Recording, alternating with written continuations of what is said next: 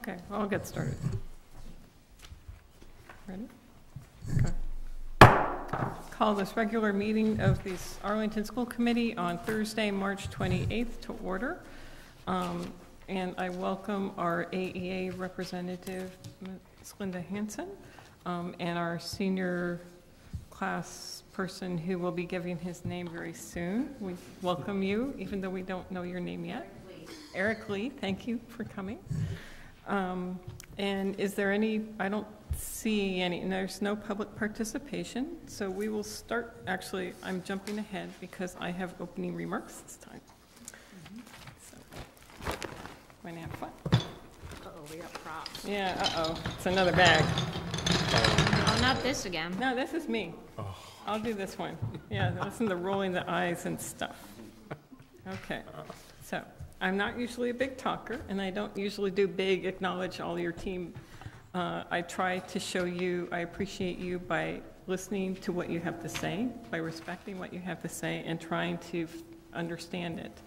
Um, But given that this is my last meeting of chair, uh, I also wanted to touch on some of the lessons I've learned from all of you, and I think of it as providing a foundation. So, uh, from Cindy, thank you for starting the governance project.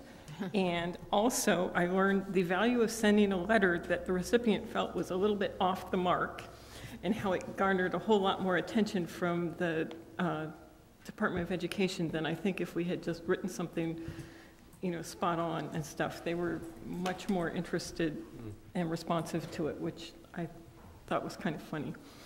Um, From Jeff, who is not here, but I'll keep going, um, I learned the value of experience on the committee and the extremely useful refrain of kick it to a subcommittee. So that builds a little bit more. From Paul, I found out about unexpected answers to questions, and also uh, someone who knows an awful lot more about numbers than I do. And from Bill, respectful dissension while trying to hold to your point of view. And from both Bill and Leba, the benefit of your teacher and administrative experience. And you can see we're getting something, I didn't time this out. From Leba, the value of creating a community committee to address an issue and how that snowballed into the kindergarten tuition you know, eliminated, which was pretty, and, and we get more money. And, you know, it's kind of a total win-win. And then from Mr. Pierce, the value of a well-written policy, and also the value of a very helpful vice chair. And I appreciate everything you've done, being willing to dive in if you're confronted with unexpected things, even if you're rightfully concerned that maybe I'm going to make, there's going to be a laugh at the end of it. But, um, and I'm not trying to ignore the rest of the team, which is the administration. I appreciate all of you, but I'm not going to go through the whole thing. You guys are the roof. So, and Oh, of that's course, so I have to quote, It says yes, Arlington this, School yeah, I- you'll notice I hired out some of the, uh, Yeah, the Yeah. artwork there? Yeah, exactly. Sub that out. Yeah. So I have to close with, and since I've had one or two times, so I skipped ones, we get two quotes tonight. So from Henry Ford, coming together is a beginning, keeping together is progress, working together is success. And from a poster somewhere, teamwork is the ability to work as a group toward a common vision, even if that vision becomes extremely blurry. I think that kind of defines school committee. So, Thank you. That's great. So, and with that, we've already discussed the art last time, and we have no, okay, so now we move on to approval of the trip to Beijing. And we have um, Catherine Ritz, who is the Director of World Language Department here tonight to talk about the, uh, about the trip. Hello. Um, I trust you all received the information sheets. Um, so I don't know if you have any questions. We, this is um, the extension of, I know a lot of you hosted this past year at your homes, um, some of our Chinese visitors from Beijing, and we want to continue our relationship with them through a two-way exchange next year. Um, so I will be the primary chaper- chaperone along with the teacher from the middle school. We um, hope to welcome the students again as we did in February and then travel to Beijing over April vacation. Um, So I don't know if you want me to go into more detail or if you have other specific questions. Mr. Hayner? How many are currently going? I have not uh, begun to enroll students. Um, I'm, I'm a little concerned if it reaches the top number that there's only two adults going. If it it does go above 30, we'll have th- a third chaperone included.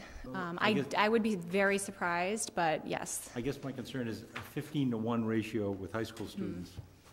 I don't know how much they've changed since I was in the high school, but that, Uh, I mean, well, with the France exchange, we have, I think we have 24 students, and it, there's two chaperones, so um, it's not too unusual. Um, I would prefer not to have 30 students as well, but I don't think, I would be very surprised if we hit that number. But if we go above, above it, we'll have a third chaperone.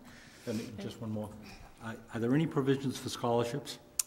No, and that is something I would like to look into for future years for the entire, as we're, one of my goals in the department has been to increase our trips um, and exchanges. And I think we do need to seriously look into that, um, going, you know, having something, but at this time, no, but it's, I think, something we need to make a goal for. Thank you. Ms. Starks? Um, I actually was part of the Japanese, one of the Japanese exchange programs a couple of mm-hmm. years ago, and there were only three of us, and it was middle school and high school kids, um, and it was fine. Mm-hmm. They were, mm-hmm. they were great. And actually, when you get there, there were so many other Yeah. people, so many other adults who were there to kind of help see us around, that Right. the, it- they easily doubled as many chaperones as we had. And then there was always some tour guide, so there was always a lot of mm-hmm. adults. So I, I'm not, I'm not concerned at all about that. I really like the fact that they are going to um, stay in the homes. I feel mm-hmm. like that is such a great part of these kinds of exchanges. You learn so much in those hours where you're just sitting around and what you see in their houses and how that everyday life is different mm-hmm. than just, you know, visiting A trip, the yeah. sites, which are beautiful as well, and I'm, I'm excited that they're going, but, um, I, I, this, it looks awesome, I hope you guys have a great I time. hope it'll be good. Thank you. Anyone else? No? I had the same question about scholarships, but Mr. Hayner had asked it. Thank you. Um, Okay. Uh, All right, so the, since this is a um, trip beyond the borders of Massachusetts, um, we need your approval uh, for this uh, trip, and did not want to begin advertising it with, for students until the, the school committee acted on it. Okay. Motion to approve the Beijing Arlington Exchange um, proposal dated April 17th to 20, April 27th, 2014. Second. Okay. Any further discussion? Hearing none, all in favor? Aye. Any opposed? And, okay. Okay, great, Thank you very much. thank you. Thank you. Have a great trip. Thank you. Okay. At this point, we move on to the monthly financial update. Ms. Johnson? Thank you. Um, As of the end of February, which is the reports I'm reporting on, um, we are tracking slightly under budget. Right now, the deadline for general fund expenditure submissions is April 12th. And I've just run another set of reports for the administrators, but I didn't have time. I wanted to get all the POs in that I had, so I didn't have time to get those reports to you tonight. Um, You'll be getting those reports after I come back from vacation. And in fact, I'll probably run fresh reports with the updated information later in April. Um, But at that point, that'll be it for the um, administrators spending their budgets. And then at that point, we'll reconsolidate and see where we stand and start making projections towards the end of the year. At present, we only have utility bills through the end of January, and I'd like to see February and March on the books before I start making estimations about where we'll end with fuel charges for the year. Does Any any- questions? Does anyone, Mr. Hayner? Who do we rent the PS Field to? I keep seeing that showing up, and it's the same number. Each time, it, he- I think it was in the, one of the accounts, PS Field, it said uh, twenty or twenty-two thousand dollars. That's the budgeted amount we expect to spend out of the revolving, but the amount that we've actually brought in on the Pierce Field is in the revolving revenues report. And so far, as of February 28th, we had brought in $11,438. Okay, my, I guess it's not the numbers. Who do we actually rent it to? A variety of different groups. I can't tell you right off the top of my head. That's handled typically by the athletic director and Paula Neville in my office. Okay, thank you. Any, any other questions?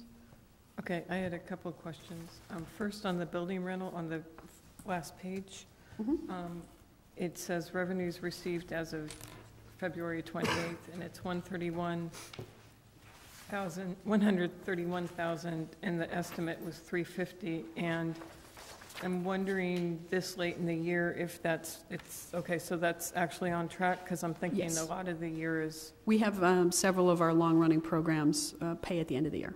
ah, okay. Um, And then the second thing, this is uh, partly for Ms. Starks. My recollection is that the, sorry, I Okay. should have talked to you beforehand. but anyhow. Um, My recollection is that the Budget Subcommittee made a list of things that you hoped would be bought, purchased if there was any monies left over. Yes, we made a prioritized Yes, list, absolutely. And I'm just bringing that to your attention because I think the first thing on that list was curriculum. Yes. Um, And that's, I just want to be sure that we remember that that list is out there. Thank you. Okay, anything, any further, Mr. Pierce? Has, has this year taught you or given you any guidance in terms of budgeting for next year? And what, what types of lessons did FY thirteen give you in your preparations for FY fourteen? Well, that's the tricky thing about budgeting, because we start the process so early. The current year doesn't tell me much. It's really the year before, because that's where I have 12 months' worth of data. Mm-hmm. So I look m- much more closely at 11 and 12 to make 14 than I do at 13. Interesting, okay, So, you know, it's kind of a two-year process. right. Well, then, my question goes then to FY Back to eleven and twelve.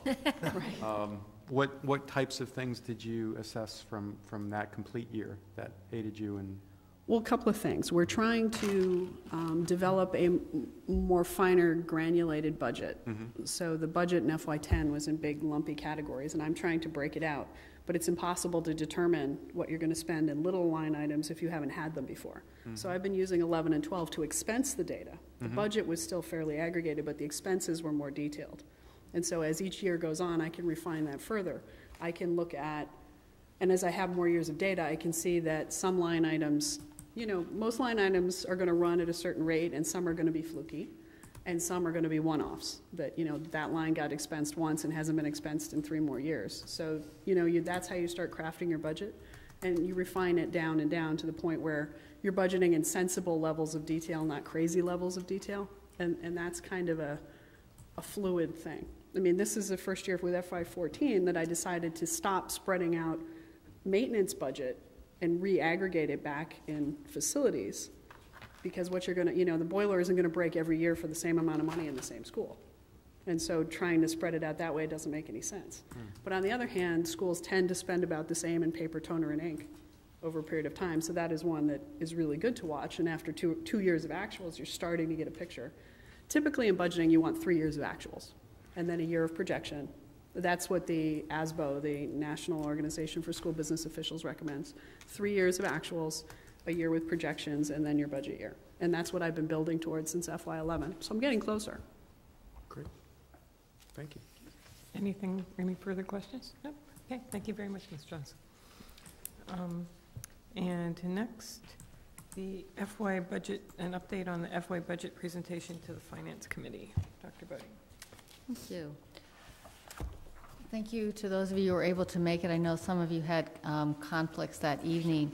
Uh, We did present uh, the FY14 budget to the Finance Committee last Wednesday. Um, And we were, we were in discussion with them for several hours, actually. Um, What you have at your place, for those of you that did not see it, but I think you may have had this even earlier, this was um, our, just sort of the slides that we presented to the Finance Committee, just give them an overview of the FY14 budget. There's no information in here that you haven't seen or we've talked about before. Um, When I, when we, I think about that evening in terms of the budget and what was the focus of the Finance Committee, the bulk of the discussion, which was actually quite lively and, and, hopefully informative for the uh, Finance Committee, was around special education. Um, They had, there was some concern about uh, the issue of the growth of special education, uh, the growth of educate, uh, special education in this year and the projected growth for next year, and we talked, we were able to talk about it over multi-years. Um, Because of that discussion, there was an amendment that was put forward by uh, a member of the committee uh, to reduce the school budget by nearly 500,000. And there was some discussion around that. Uh, That amendment did not pass, and the, the Finance Committee did vote approval, uh, I should say, to recommend our budget to the uh, town meeting uh, later this spring. In addition to discussing special education, we talked in general about um, just uh, education that's going on in the public schools today and also about the METCO program. But I would say really the bulk of the evening was talking about special education. And, uh, and because there has been this question about um, what our budget shows for next year regarding the increase in special education, um, I asked Diane if she would um, go take another look at how to look at the budget um, in terms of growth over multiple years and how and how we are projecting for FY14. And so she has a few slides tonight um, that we just taking another uh, just another lens at the whole issue. And it might be something that uh, the committee might suggest that we uh, potentially share with the, the finance committee and, and potentially share at a town meeting when we project, when we present our budget. Do we have a copy of this too? It's Uh, in you do. orange. Mhm. It was on your chair. Okay. One of the first, one of the first questions that arises is what are special education costs? And in our budget, special education costs are costs that directly support children on an individual education plan or an IEP. So this is teachers, related service providers, OT, PT, speech, um, psychologists, social workers, teaching assistants, the people that directly work with special needs children. It also includes transportation, out-of-district tuition, expenses that are directly in the service of special ed. The other thing that's, that is included in our special education costs are costs that support the administration of IEPs, and that would be the special education administration and their staff who actually work the paperwork. That definition of special education pretty much tracks with the state um, end-of-year report and how they define special education costs.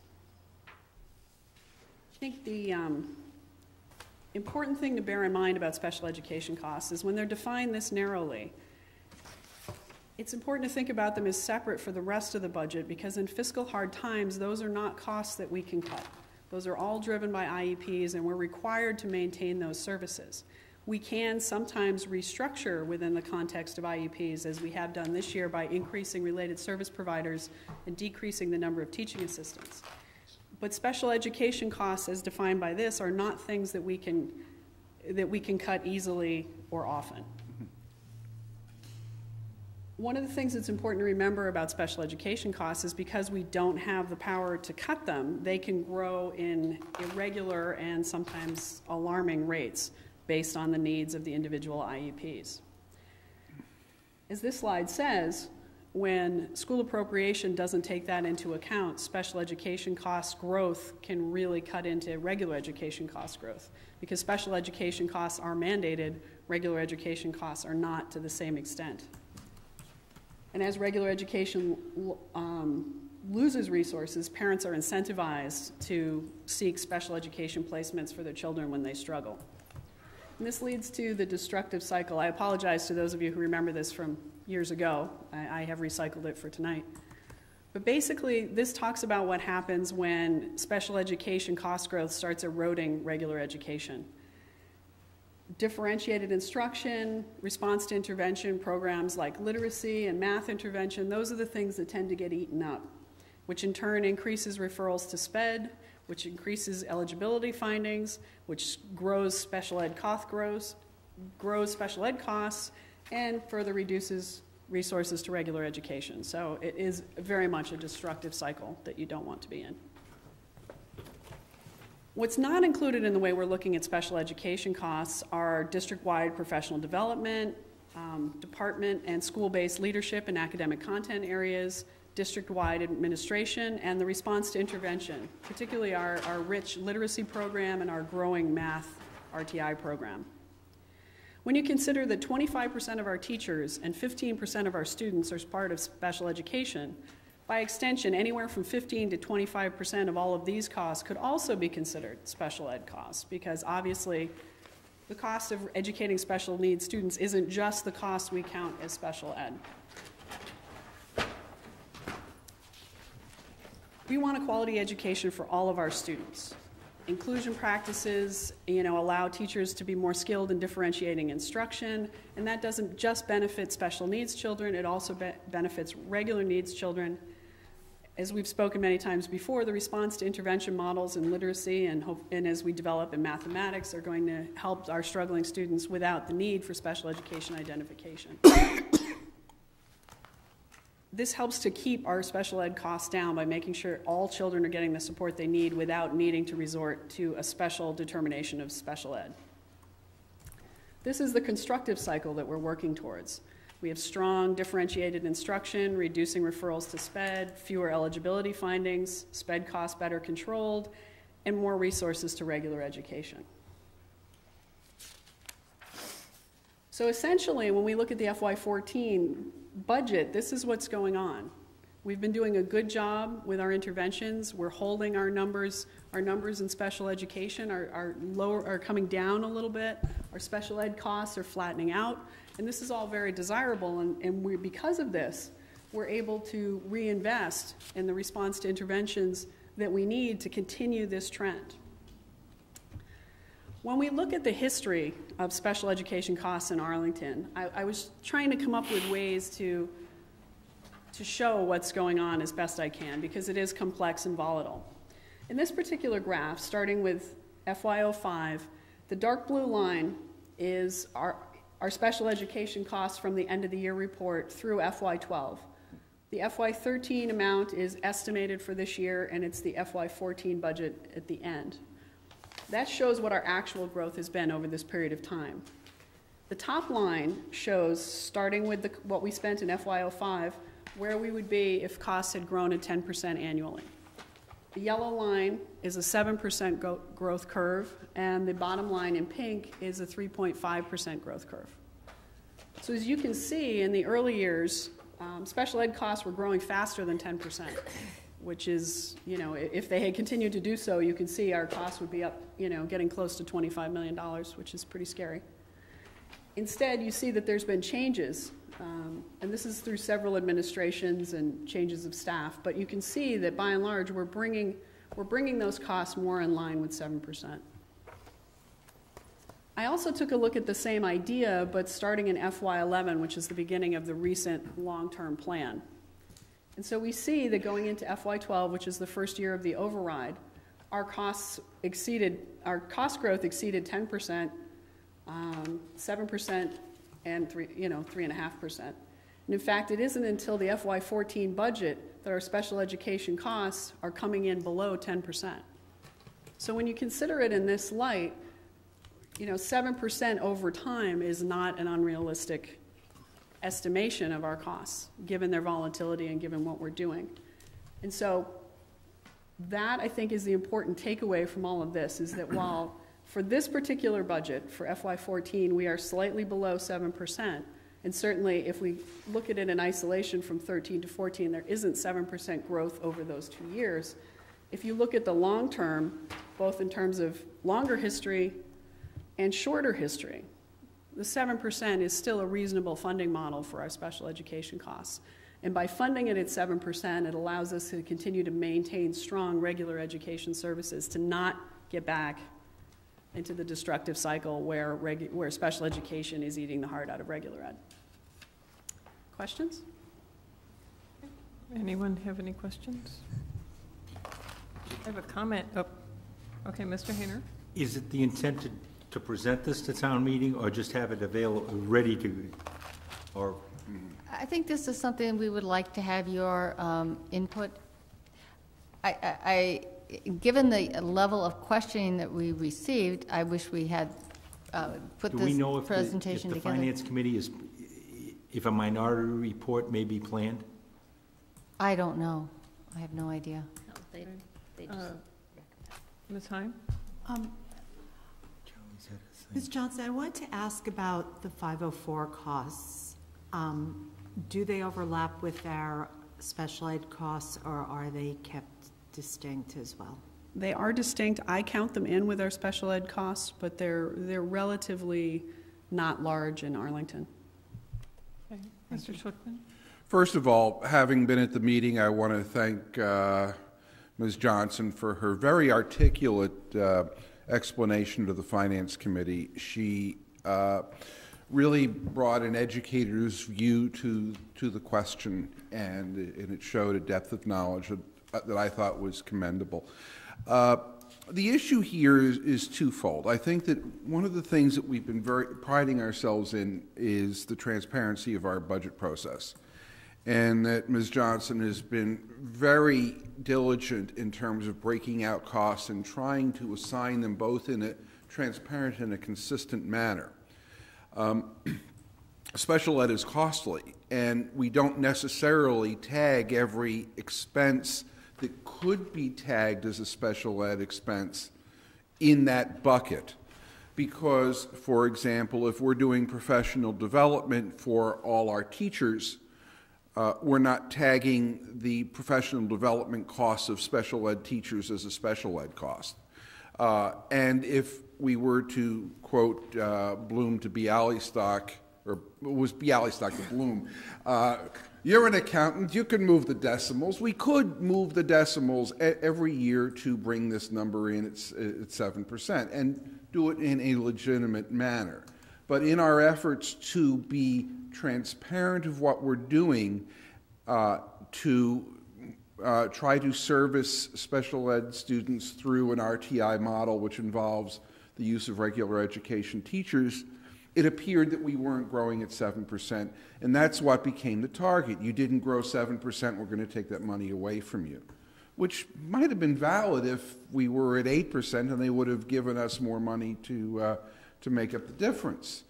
But we, we can't be playing a uh, heads you win, tails you head, heads I win, tails you lose kind of deal, where the reward for frank and honest budget presentations is to have our uh, budget come under attack. And, and I think that we have a very defensible budget. We're both doing the right thing fiscally and the right thing for kids.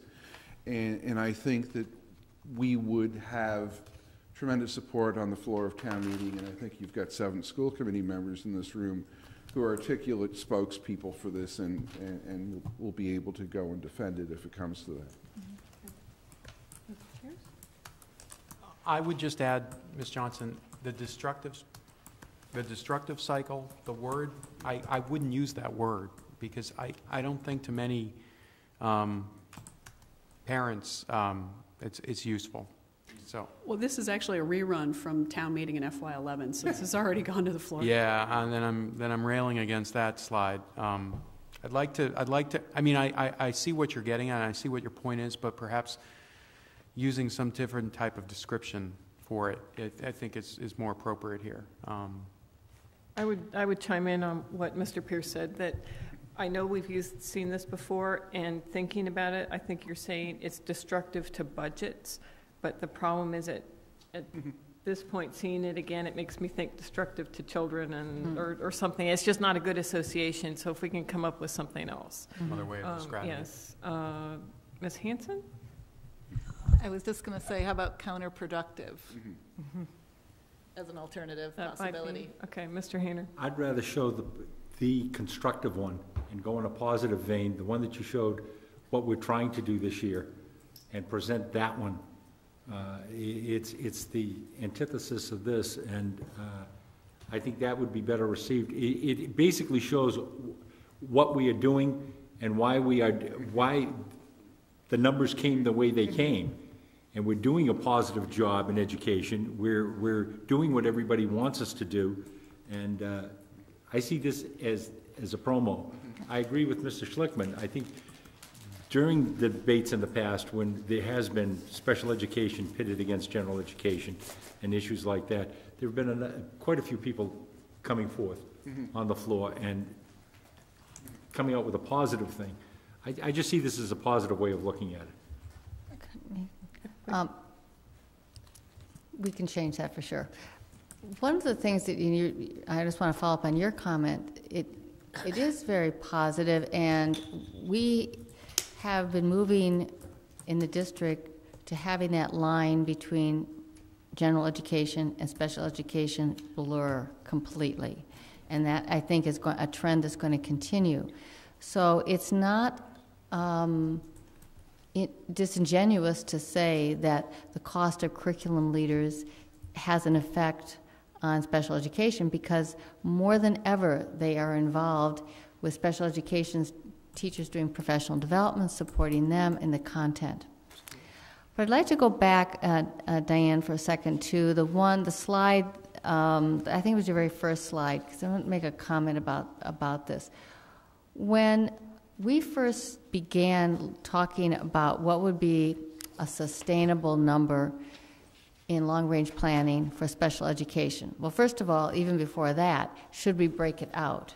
And there was a lot of disagreement on that, and I think that, uh, that my strong position, as well as the members of the school committee that participated, was that yes, we should, because that particular part of the budget was, is so volatile and affects um, general education uh, so significantly.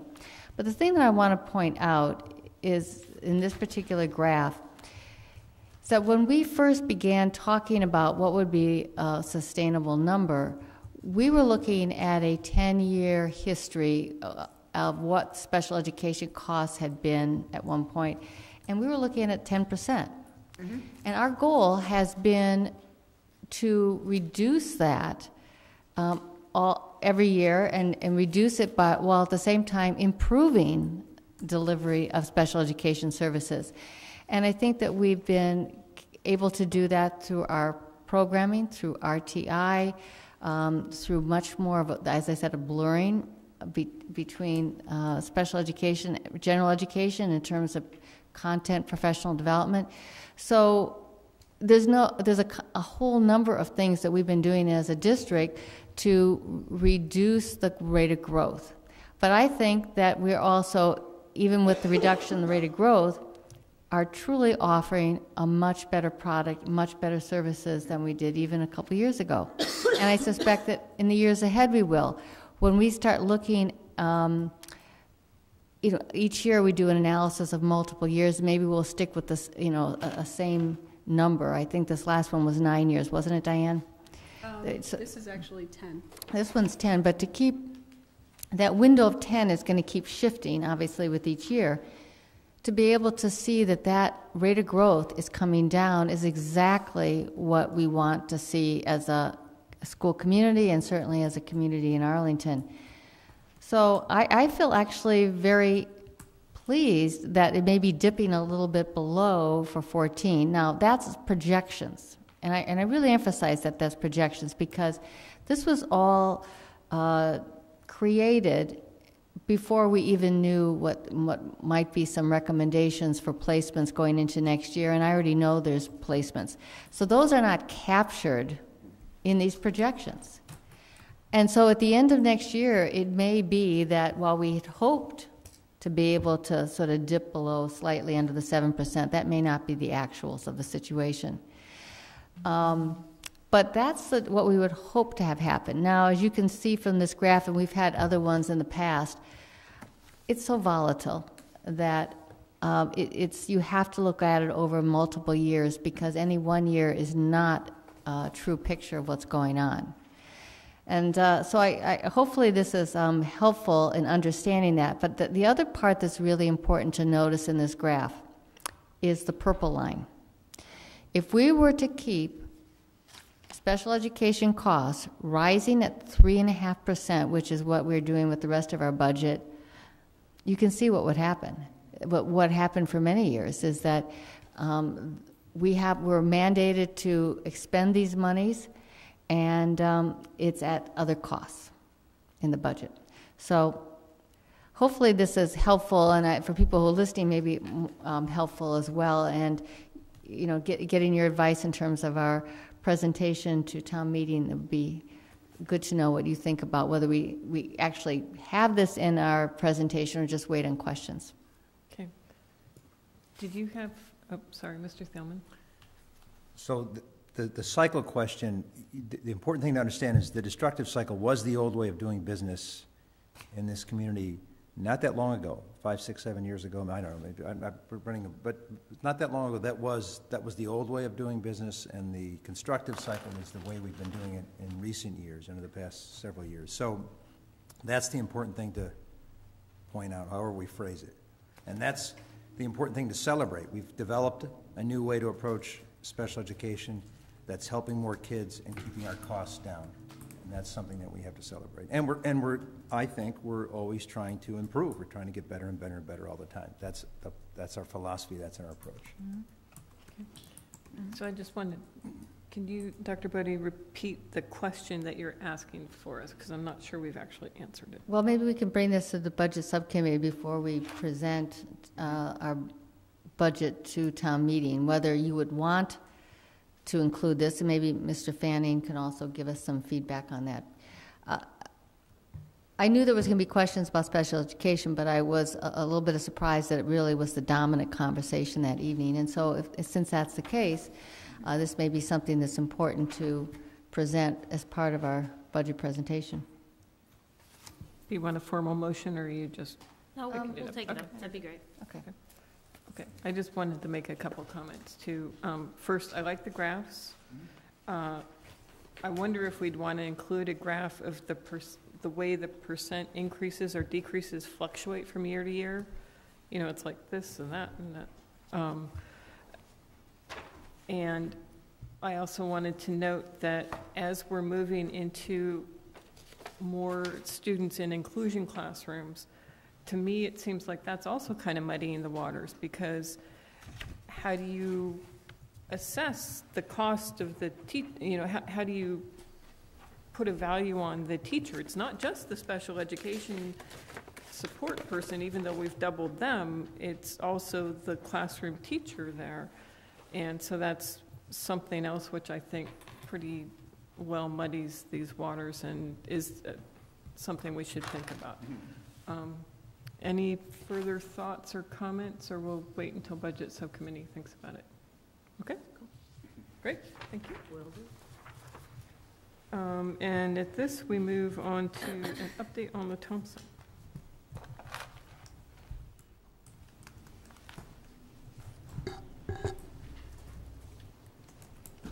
The, um, the, the Thompson is moving along quite well. Um, Next week, we have our monthly Thompson School Building Committee meeting, which will actually be able to give you a much better picture at the April 11th meeting. But right now, um, there's been a focus on uh, some change orders, and um, there's also the possibility of, of some uh, potential fundraising for the Thompson PTO, but I can tell you more about that at the next meeting. Otherwise, there's really not much to report at this point, other than, from what I've been reading from the construction reports, we remain um, on schedule and no, no major deviations. I don't know, Diane, if you want to add anything to that? Yeah, we'll get a complete report next week. Mr. Hayner? When are we going to go visit? I wa- When you're ready, I'm, I'm just, I'm. I, I talked to our, our project manager about it. He knows that you want to visit, as does the Thompson School Building Committee. And he was suggesting that maybe a late April, early May would be the best. It was still a lot, he was concerned that there's still a lot of wires and all that and stuff on the ground and didn't want to take a lot of people in quite yet. Just tell him I'm going to ask you every two weeks. Okay, well, we're, you're definitely on the, uh, the planning. Okay. Definitely. Um, Can we have a motion to table the police until they arrive? So move. And second, all in favor? Aye. Okay. Um, Would you like to go on to superintendent report, or do you, okay. Let's do that. All right. um, Well, Let's talk about snow for a second. One of our favorite topics. Um, The last day of school is June 28th, and it is a Friday, and we can't go beyond that. Uh, So, every time I hear that there's more snow approaching, I, I do listen with great care. Uh, But I think we may be out of the woods at this point, but one never knows. I think that, um, of course, the concern would be what would happen if we were to have another snow day or rain, you know, hurricane day or whatever. Because our two alternatives remaining would be vacation days during the April vacation. And then there comes a certain point when you can't plan that anymore. And um, we may, we may be close to there right now. So that only leaves Saturdays after that. And I think that we're, what I'm hoping and certainly thinking positively about that, that uh, we will not have to, to go there. But the April 11th meeting would be the last time that we could make a vote about uh, school vacation. Bec- But even then, it's awfully late for people who've made plans. Mr. Hayner? Just as preventative, would it be appropriate, in your opinion, to do that now and only use it in absolute emergency? Because I don't, I think there's a concern, uh, from what I've heard, is that, that, I'm not trying to put any blame, but part of the, uh, couple of the days that were non-school days this year, uh, it can also be affected by having a school on a Saturday as well. Saturday may not be acceptable to a large portion, uh, population within the community as well. And That's that's my concern uh, in that aspect. So I don't, I'm just putting this up for discussion, I guess, whether we, the 11th is awful short to inform Well, the community It- that we're going to have a, I- even now maybe short. It may even be short right now, because that's only two weeks away. That's right, two weeks away. I don't think it'll be necessary. I, I'm certainly hoping it's not going to be necessary. So I wouldn't, at this point, people have so many plans. Uh, I just, it's just something that's out there. Um, I think April 11th is too late to do anything about that. I suspect that we would have to do is to get through, um, put it later in the year. Now, there's always the chance that the governor might forgive some days. It's hard to say, but we're not we're not the only district in this position. Um, there are a number of districts who are going up to that last day, the 27th, 28th, but then there are some districts that are still back the week before, and the reason why they are is that there's, they're actually having students come before Labor Day. I heard Westminster's already planning a day during the April vacation. There's some districts that have, the- the, um, central Massachusetts and western Massachusetts have had more snow days or bad weather days than any other place in the Commonwealth. Fortunately for them, in many districts, they start the last week of August. So they have a little bit more give in their, their schedule. And then there's the other issue, too, is that um, even some of our neighboring districts that have a little bit more give, is they do not, um, they do not have days off on any of the religious holidays, including Good Friday. Uh, so there are a number of school districts around us that will have a half day tomorrow. Mr. Hayner? Re- Real quick, when we initially started looking at this, I think it was brought forward that DESE recognizes 20 or 22 or 23 official religious days and recommends that they not be considered as a school day, but also the school is to recognize these individuals and not to penalize them as a, uh, it would be considered an excused absence. And That's DESE's right, because there's no way any school could recognize them all. And I think as communities become more and more diverse, when we recognize some, there's going to be a desire to recognize more and more. So I would support what the superintendent uh, just stated, that No. At this point, the, the committee has already approved um, the calendar with the major rocks that are in it, the, the holidays, the start dates, that's all been approved. What's going to come to you, probably, if not the next meeting, certainly by the end of April, um, a uh, completed calendar, which will have the early release days on it, the conferences, the night conferences for next year, so that everybody has a complete calendar uh, with all the dates on it before the end of this school year. In past years, we've waited to put conference days on until the fall, and that's just, it's just not, it, it, today when families have a lot more scheduling challenges, it's, it's much better to know ahead of time. And so that's what the plan will be. Our next calendar, uh, right now, the way it is set up, we have only one additional snow days potential for next year, am I correct? We're up to the 26th or 27th of June? Uh, Something like that, yes. But there, that next year, it wraps around, I think the last day of June is on Monday. But we're up to, with Friday. only about two days. With, when you add on the five that are required by state law, we're up to about two days from the potential last day of June.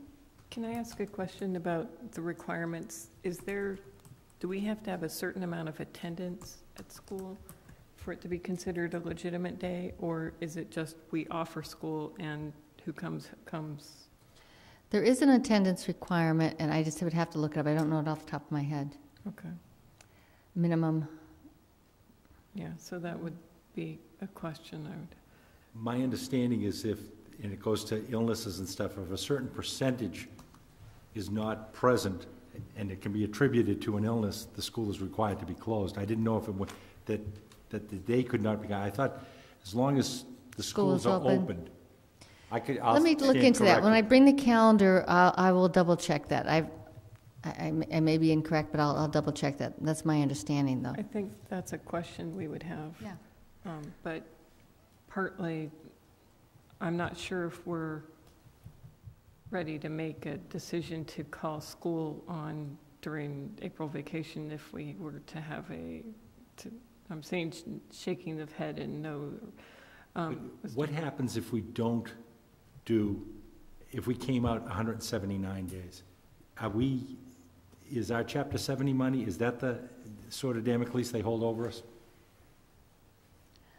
I don't think we even have the option. I think we Well, have I to mean, if- schedule. i- If, it's, let's say, on May 4th, a hurricane hit, we have no days to, we'd then There- have to pull a Saturday? Oh, there are, I'll pull it out so you can see it. There actually are guidelines if when you have an emergency, say in June, and I forget what the first day, it may be just June or maybe sometime in late May.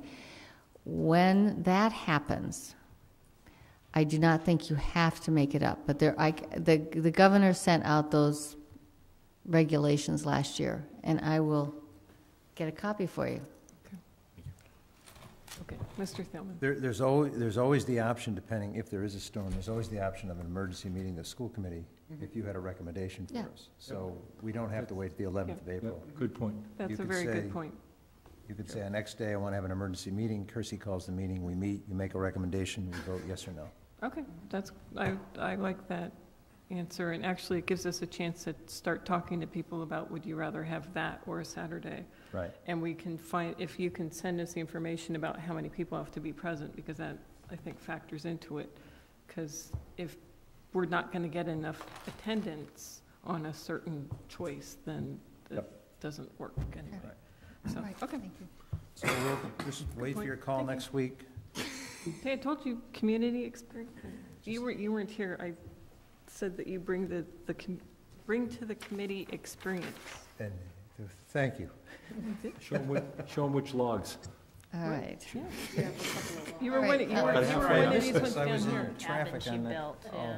That's very nice. I- I'll go into another topic, which, uh, since it's earlier in the evening, I know there'll be a lot of kindergarten families that are interested in this. Um, Subsequent to the committee approving Tools of the Mind, um, we looked at the kind of professional development that was needed for teachers and needed to be done this year in order for the teachers to be, to have the summer to prepare for the, this change in our curriculum. And as part of the, the, all of the professional development that will be necessary, we need to do two training days in the end of, the end of June. So as you're aware, I sent a survey out not only to the kindergarten teachers, but to kindergarten parents. Uh, unfortunately, it was a little bit of a snafu with the email getting out from Saturday. It was sent out on Saturday, but did not arrive until Tuesday, and I, I don't know why. But at any rate, we extended it, and we, I think we've had all of the kindergarten parents respond. In fact, we have more responses than we have children, um, which, which might be that th- are you know, families that, that have joint custody. I mean, I, that's, but it's not, it's Oh, like- you're being generous. People double voted. it wasn't that much. It was, we have, a four, I think 453 responses. You have the results here, and we had, um, four, we have 432 children, I believe, in our, our kindergartens. So the, the, um, the majority, or I shouldn't say the majority, but the largest number of parents, actually about 200 families, would prefer to stay the course and have the last day of school on the 28th. And I received a, a- quite a few emails from parents, uh, and I'm sorry to those that I haven't been able to respond to. It's just that I did receive a few, uh, more than I could. Is that they, is that the, even though we're trying to do this, what we think is timely for them, even this, even this um, far out is still going to present problems in terms of childcare, camps, um, camps that they had to get refunds on because we went into that last week. And, and s- there are issues around siblings that would not be at home. So all of those things we thought would be an issue uh, are an issue, but I wanted to be able to, to have the parents part of this, uh, part of the thinking on this. The, the kindergarten teachers, um, their preference is to actually have the last day be June 21st um, with some that did not. Some wanted the, the, the 25th. But since the largest number, and it's a fairly significant number of parents, would rather go to the 28th, my recommendation is that we do not change the calendar for kindergarten for this year. Okay. Mr. Hayner? When will the training pl- take place then? We're going to do it on Monday and Tuesday of that week so that the teachers would be back in the classroom uh, for Wednesday and Thursday, and then, of course, Friday, half-day. Mr. Pierce? Can I make a suggestion that um, an invitation goes out to parents and uh, to help out in their kids' kindergarten classrooms on Monday and Tuesday? It would be a great way of building, I think, a community and give um, perhaps a little bit more fun and interesting activities for the kids that week. Good suggestion. Anyone else? No? Okay. So that, that is, so I will send an email out to the parents tomorrow. Uh, I've already notified the teachers before I came into this meeting so that they wouldn't hear about it at the table. And, and actually, they, the- they were back and forth about the whole issue as well, but they just thought it would have a, it was better to do it on Friday than on Tuesday, just because of the, the shorter week there. So at any rate, th- I think this is going to work out, and um, we certainly have more professional development for them as we move through next year. So this is going to, we're going to give them the kind of sustained support that they need to, to do this. The other question I had was, was that, was the reason why we're coming to this decision or now because we needed to take the vote to see how the pilot went this year? And we took the vote as a committee last, in other words, we couldn't have had this out there as an option earlier on in the year. Correct. We couldn't have done, we, We wouldn't have known if this was the right program for us. That's right. I, I, you can't put this out in October, and though some parents would have wanted to know it in October, we really couldn't do this until we had the, the approval on the curriculum, right? So, it is, it is what it is, but I think that this is going to work, and we're going to make sure that the, the classes are covered and that they're going to have, um, quality activities during those two days. Um, More superintendent report? Sure. Um, Actually, I'm going to give, since I've been talking a lot, I'll let uh, um, Laura Chesson talk a little bit. We actually received notification that uh, Arlington Public Schools would receive um, an award from the College Board due to our continued success with our AP, uh, ta- our- our- the AP achievement of our students and our increased enrollment of students taking AP courses. And I'll let Laura talk about this. Um, We were notified by the College Board that uh, they have a grant program that was funded by Google, and their program is to increase the number of underrepresented groups, uh, students of color and females in what they call STEM, so science, technology, and engineering, and mathematics AP classes. Um, There are a number of classes that they would like to see increase um, enrollment in underrepresented groups, um, calculus, um, BC, um, some forms of physics that are also calculus-based, that are based on mechanics, um, environmental science, AP stats, and AP computer science. They offered schools that had shown um, improvements in their AP um, enrollments the opportunity to receive additional funding to offer more AP classes. So we will be offering AP statistics um, next year for the first time in a while. And our environmental science class will be changed to an AP environmental science class. Um, The College Board will provide funding for the two teachers for those courses to attend the AP training. They will be providing money for materials based on the, uh, the kind of course. So um, it's around a little under 2,000 for the AP Stats class, all the way up to 7,500 for materials um, for the environmental science class. Um, we had to make a commitment to offer that course for three years. We have been successfully offering environmental science, so and had been looking to improve, uh, upgrade it to an AP class. Um, but this will allow us to do it because it will provide the training for the monies for the training for the teacher and the materials.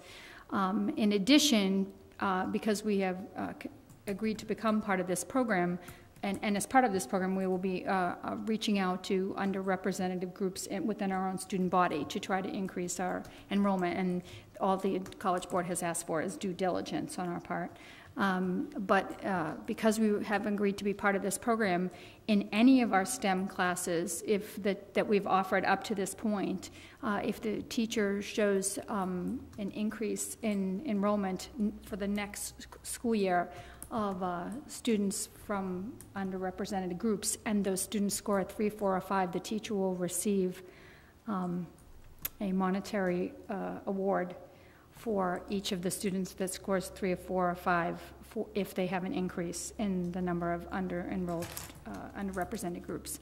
So it's sort of a two-pronged program. So it's a, quite an exciting program, and it's going to allow us to uh, really um, offer um, some classes we've been looking forward to doing so. Um, You had to have at least 10 students. Um, We would have liked to have offered AP Computer Science, but just were not sure that we would have had the enrollment that we needed to do that. So we just made the decision to just stick with these two. And offering AP Stats will offer uh, another alternative for a fourth year uh, of um, mathematics at the AP level for students who may not want to take calculus. Great, that's wonderful. The, uh, based on a previous topic, I just want to add that the Commissioner of Education in February 2011 stated the following: um, "All days lost um, due to health, weather, or snow emergencies from the first day of school to March 31st needs to be made up um, to ensure 180 days. If you lose days between April 1st and June 1st, as long as you get to your 185th scheduled day, you no longer have to add days. So we will be at the 185th day. So should we lose any days after Monday, we do not need to make them up. And any district that loses days after June 1st never has to make them up. So we are in Phew. good shape. All right. Thank you. Oh, yay. Wait a minute, wait a minute, you got Friday, Saturday, Friday, yeah. Oh, we don't have school? We don't have school tomorrow, so we're all set. That's enough, that's enough. Squeaked. Thank you. Good job. And Good good was it. Good job. Good research. My memory was that it was later, but that's good, very good news. Thank you for looking that up. All right. All right. Yay, Um, iPads. I think, I think that the group may, are they here?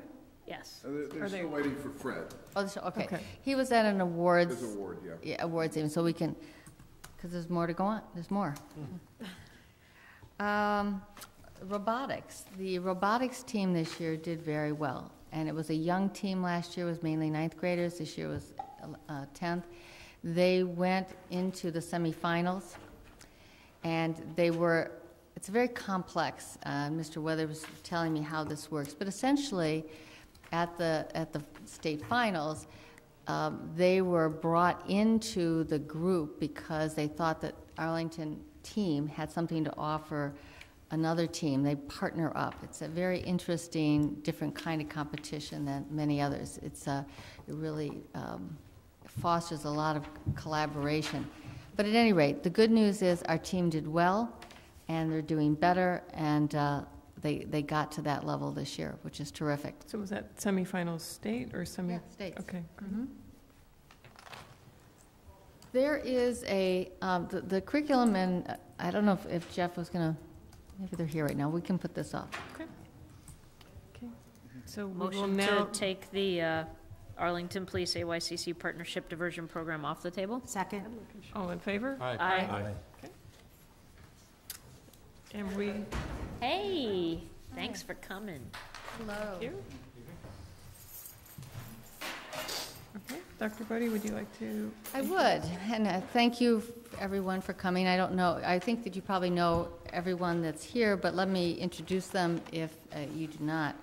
Um, We have Chief Chief uh, Ryan, who is the chief of the police force, who is here, and um, Mary Villano, principal of the high school, Ellen Digby, who has many titles, cour- uh, court liaison, attendance, REMS, homeless, she she does many things.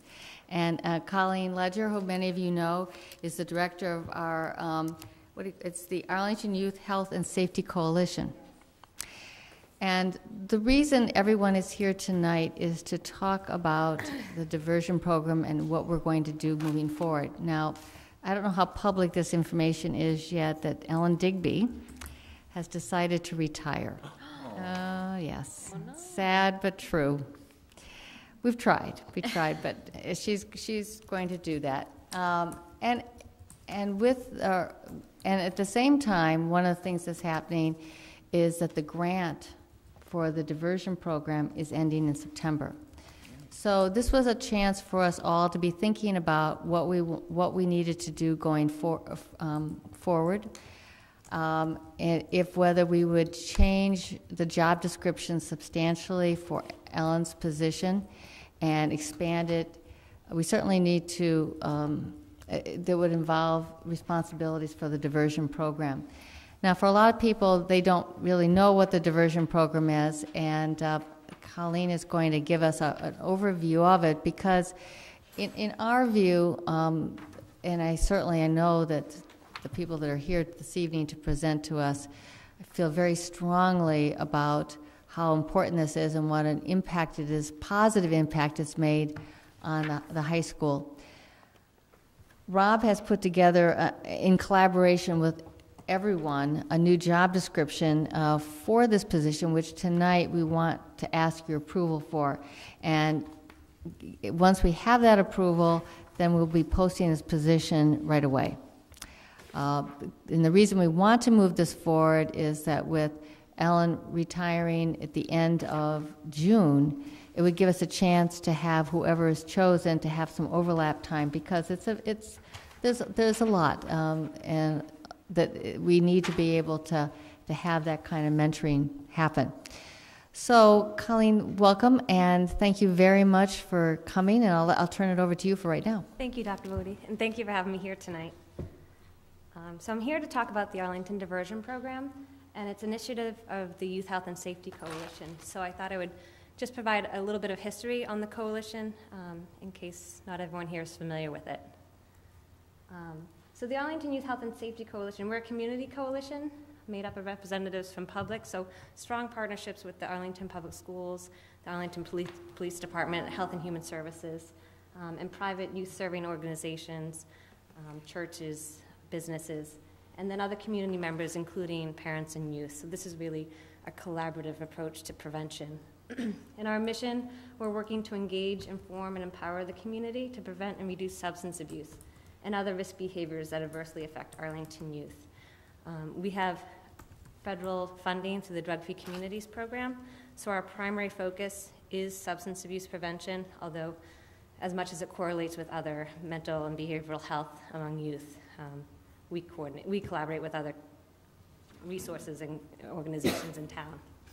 Um, so our prevention focus, we're looking at primarily alcohol, marijuana, prescription drugs, and tobacco use.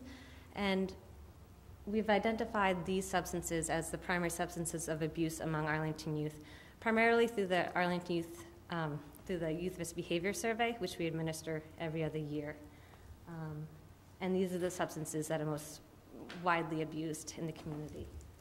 And, and then through various community data and ongoing ass- assessments over the years, we're looking at certain risk factors in the community.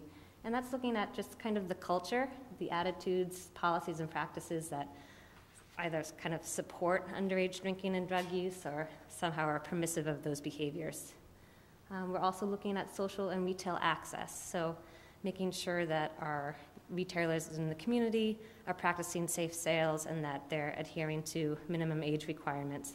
But primarily, we're looking at social access, so we're looking at families um, and friends of young people who provide to them because that is the primary source. In the Youth Risk Behavior Survey, Arlington High School students um, indicate that their primary source of alcohol is older, or older, fam- older friends and siblings. So we look at that, and then we also are looking at youth misperceptions about peer substance use um, regarding marijuana and alcohol use. Both middle and high school students have an exaggerated perception that this is the norm, that they tend to think most of their peers are engaging in these behaviors, and the reality that is that it's not. So we want to clarify those misperceptions. Um, so some of our community objectives. So we want to reduce, reduce youth access to alcohol and illegal drugs. Um, also reduce youth access to uh, legal prescription medications um, or the diversion of prescription medications for abuse among youth. We want to support the development and enforcement of healthy community standards around substance use. So, working with parents, families, the schools, and law enforcement to ensure that we have healthy expectations for our young people and that we enforce those standards. Um, we're also, we, we collaborate with organizations and resources in the community, community to facilitate youth access to support services. Um, highlight, like I said, highlight positive social norms, and then strengthen community partnerships to prevent healthy youth development. This is what the coalition is really about. It's working collaboratively as a community because it's a community issue um, around some of these behaviors. Um, so, just a, a, a, few examples of some of our initiatives. We've been working, um, you know, in the school level on school chemical policies. We worked with Arlington High School on that. We'll be working with the middle school to just strengthen school chemical policies. Um, we work with the Arlington Police Department around enforcement issues, um, the Board of Selectmen and the Board of Health on regulations around retailer, um, re- retailer policies and um, enforcement of violations of um, underage sales.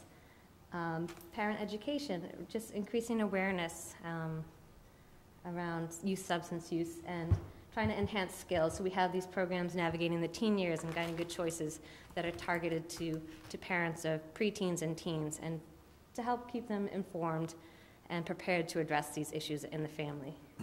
Um, as I mentioned, we retailer education, we support the Board of Selectmen and the Board of Health to provide um, training, so alcohol awareness seminars, tobacco awareness seminars, safe sales practices, and then we follow up with compliance checks with the Board of Health and the Arlington Police Department.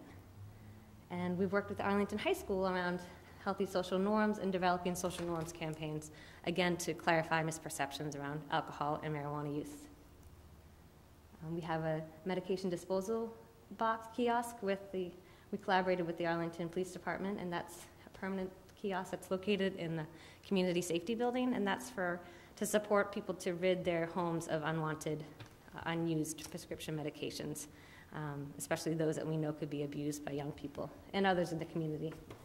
And then offering youth support, so collaborating again with resources in the community to facilitate access to mental and substance use evaluation and counseling, and then providing leadership training and skills development to high school and middle school students. And finally, again, we're, we're really interested in increasing collaboration and collaboration around enforcement. And I'm here tonight to talk about the diversion program, which is a partnership really that evolved from the schools, Arlington Police Department, and Health and Human Services. Um, so, a little overview of Arlington Diversion. It's a community based alternative to the criminal justice system. So, really, it enables young people to avoid prosecution um, by ensuring that they comply with individualized intervention plans or contracts. Um, it's really a holistic model to address high risk and criminal behavior among youth. Um, we look at each youth individually, look at sort of the underlying issues and needs for each youth, and we, and we hold them accountable, but we also ensure that there's some support around you know, mental, social, emotional health, academic needs. Um, we, looked at, we identify underlying, as I mentioned, social, emotional, academic needs, mental health needs, um, and try to facilitate access to support services. Um, so a little bit about the history. It was piloted in October 2007. Again, this, this evolved out of collaboration among the schools, police department, health and human services. Um, and over time, it, we've become more involved with Arlington Youth Counseling Center, who provides the substance abuse evaluations and mental health and behavioral health counseling to our diversion participants. Um, and, and, it was really prior to this, I think, and I am sure Chief Ryan could speak more to this. Um, youth was sort of being missed, so they may have been on, you know, the school's radar or on the police radar, but and they may have been like persistent, persistent ongoing risky behaviors, but there wasn't much communication or collaboration on how to address it. Um, and we know that by you know, setting community standards and expectations and enforcing them, youth are less likely to get involved in these behaviors. So we came together and thought we don't want to we don't want to strap these kids with a criminal record necessarily. We don't want it all to be about punitive consequences, but we want to hold them accountable for criminal behavior and uh, and criminal and delinquent behavior. And, and this was kind of the proposed model that, um, that we developed. And over time, it's become a model for the Middlesex um, DA's diversion program and for other communities as well who have looked to this because the collaboration in this community is, is really unique um, and it, it's been really effective for this program. And we've been funding this primarily, as Dr. Bodie said, through grants through the coalition. Um, and one of our primary sources of funding will be ending in September. Um, you know, in the first few years, Arlington Police and school resource officer at the schools, they referred participants into the program. And again, these are for criminal offenses. Um, over time, we collaborated with the Middlesex DA's office and the district court clerk, and they also refer into this program now. And then in 2010, when the marijuana, marijuana laws changed, we also included citation management. So for young people who are caught either having publicly consumed marijuana or in possession of marijuana, we've offered the chance to be part of diversion in lieu of paying a fine. So as I mentioned, diversion has really been all about community collaborations. And what has sort of evolved out of these main um, departments who have been involved is that diversion is provided a clearly defined enforcement alternative for officers. So we, have heard from many law enforcement officers that they don't want to, they don't want all the punitive consequences associated with an arrest um, or the sort of collateral, collateral ramifications associated with a record. But this is an, this is an enforcement tool. Mm-hmm. Um, it's increased, it's increased over time the Arlington Police Department's response to youthful offenses. So we've, we've seen report writing increase over the years um, and official action occurring as a result of diversion because they now have this tool and they can refer into the diversion program. And with that, it sort of prompted a cultural shift among police department um, personnel where they, where they kind of they see the need to address these um, criminal or substance using behaviors um, and they feel more comfortable with this as a tool. Chief, would you agree with that? Do you want, want to come up to the, ta- could all of you come up to the table? Thank you, um, Madam Chairwoman, Dr. Bodie. I, I don't often get to sit before the esteemed school committee, so I wore my Class A uniform tonight for you all. I hope, hope you all, uh, uh, I, I, thank you. And, and, you know, it's interesting, um, to listen to Colleen go over the history of this, and, and I harken back to a tragic event um, that really triggered the fruition of the, um, the coalition. It, it, followed the suicide of an Arlington High School student. And we all met after that tragic event and, and started to brainstorm and felt like, in many ways, we had let the village down as leaders in the community. And, and, and how then do we do we not let this happen again? Or do everything in our power not to let it happen again? And so the coalition was born from those discussions. Um, and from that, um, the diversion program evolved. And, um, and in many ways, police and other leaders in the community were reinforcing risky behaviors on the, on the part of our, of our youth. You know, a youthful offender, we would um, identify them and, you know, dis- maybe dispose of the alcohol or, or the marijuana and not have any accountability that, to go along with it. And, um, and that was happening for many valid reasons. You know, our leaders didn't want to give these children a scarlet letter. They were making risky decisions, but we don't want to give them a scarlet letter for life, so we dump it out and forget it happened. And we, we really started to look at it in a more sophisticated way and said, that's, that's reinforcing risky behavior. So the diversion program was really the answer. And so uh, now youthful offenders are, are in a structured environment. There's a a substance abuse assessment done, there's a contract executed, they're held very accountable to get them back on track, making non-risky and, and healthy decisions. And um, it really has been, uh, uh, not through any work of my own, but really through Colleen and, and Ellen and others, um, a program that, that I'm very proud to say I'm associated with um, because uh, it's doing exactly what it was intended to do. And um, I, I have no doubt that we have prevented injury and/or death to a, a child in Arlington as a result uh, of this program, and, and as a result of these partnerships. Um, you know, Dr. Bodie, um, Diane, Rob, we're all on a first-name basis. Ellen, I want to make my deputy police chief, but she won't, she won't uh, accept the position. Um, but you know, th- therein lies the value of partnerships and, and community approach to, to these difficult challenges.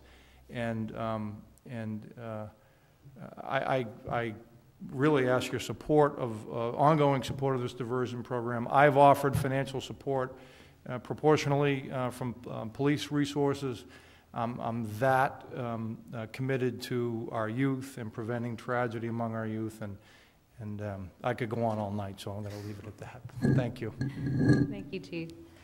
Um, So you spoke very. Did I answer your question? You did. I wanted you to. I you probably did didn't very- even answer your question. Very eloquently about how it, how the police department really has evolved with this program. Um, And likewise, Arlington Public Schools, I think it's really strengthened communication among school administrators, staff, um, and the Arlington Police Department around youth delinquency. Um, I, I, you could speak more to that, but um, and it's increased enforcement of school-based offenses. We've seen, um, you know, more students, I think, held accountable at the from school um, than in previous years for, for criminal offenses.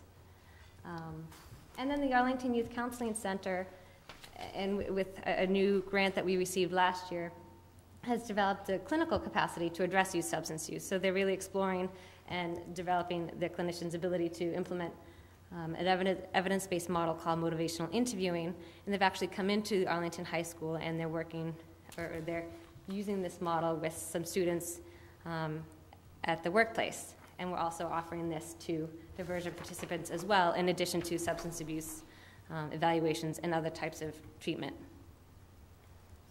So, sort of summary of diversion cases. Since 2008, as I mentioned, 2007 we piloted it, but since 2008, we've had 171 youth accepted into the diversion program, so they met the eligibility requirements. Um, for a range of misdemeanors and felony incidents, although 90%, if not more, of those participants are involved in youth substance use. So that's really, that's, that was initially our concern. But it, you know, substance use correlates with other high-risk behaviors and, in these, these instances, criminal behaviors. Um, so they're all of concern. Colleen, can I interrupt? Yes. You know, you may pause when you see felonies. I know um, some people pause, and, oh, you, you, you screen in felons? You know, when we started the program, we excluded felonies. Shortly thereafter, we had a, a, um, a couple of middle school students break into the uh, gym at the middle school to play basketball. Technically, under the statutes, a felony. Now, do we want to be putting middle school kids in on felony charges? Absolutely not. Do we want to hold them accountable for the damage and, and for the harm done? Absolutely. So we quickly, it was, it was a quick learning curve where we went back to the drawing board and eliminated that exclusion of felonies. Uh, So, you know, I don't want you to think we're screening in, you know, violent felons, but certainly there are some felony offenses where this is an appropriate response from the community, so. Since that time, we've had, and the age, ages range, I think, from 11 to age 20. So really from middle school um, to just out of high school. And we've had nine contract violations. So those 171 youth were all, um, were all enrolled into a year-long contract where they had to meet certain conditions. Um, As Chief Ryan mentioned, community service, they had to uphold certain academic performance, um, participate in counseling and evaluation, um, and, and community service. So there are conditions outlined. So of those 171 who were contracted, there were nine violations. And then, sort of looking at recidivism rates, there have been 16 diverge, former diversion participants who have committed some sort of subsequent offense. Um, so that's a 9% recidiv- recidivism rate, which is pretty low. It's better than the Department of Corrections doing.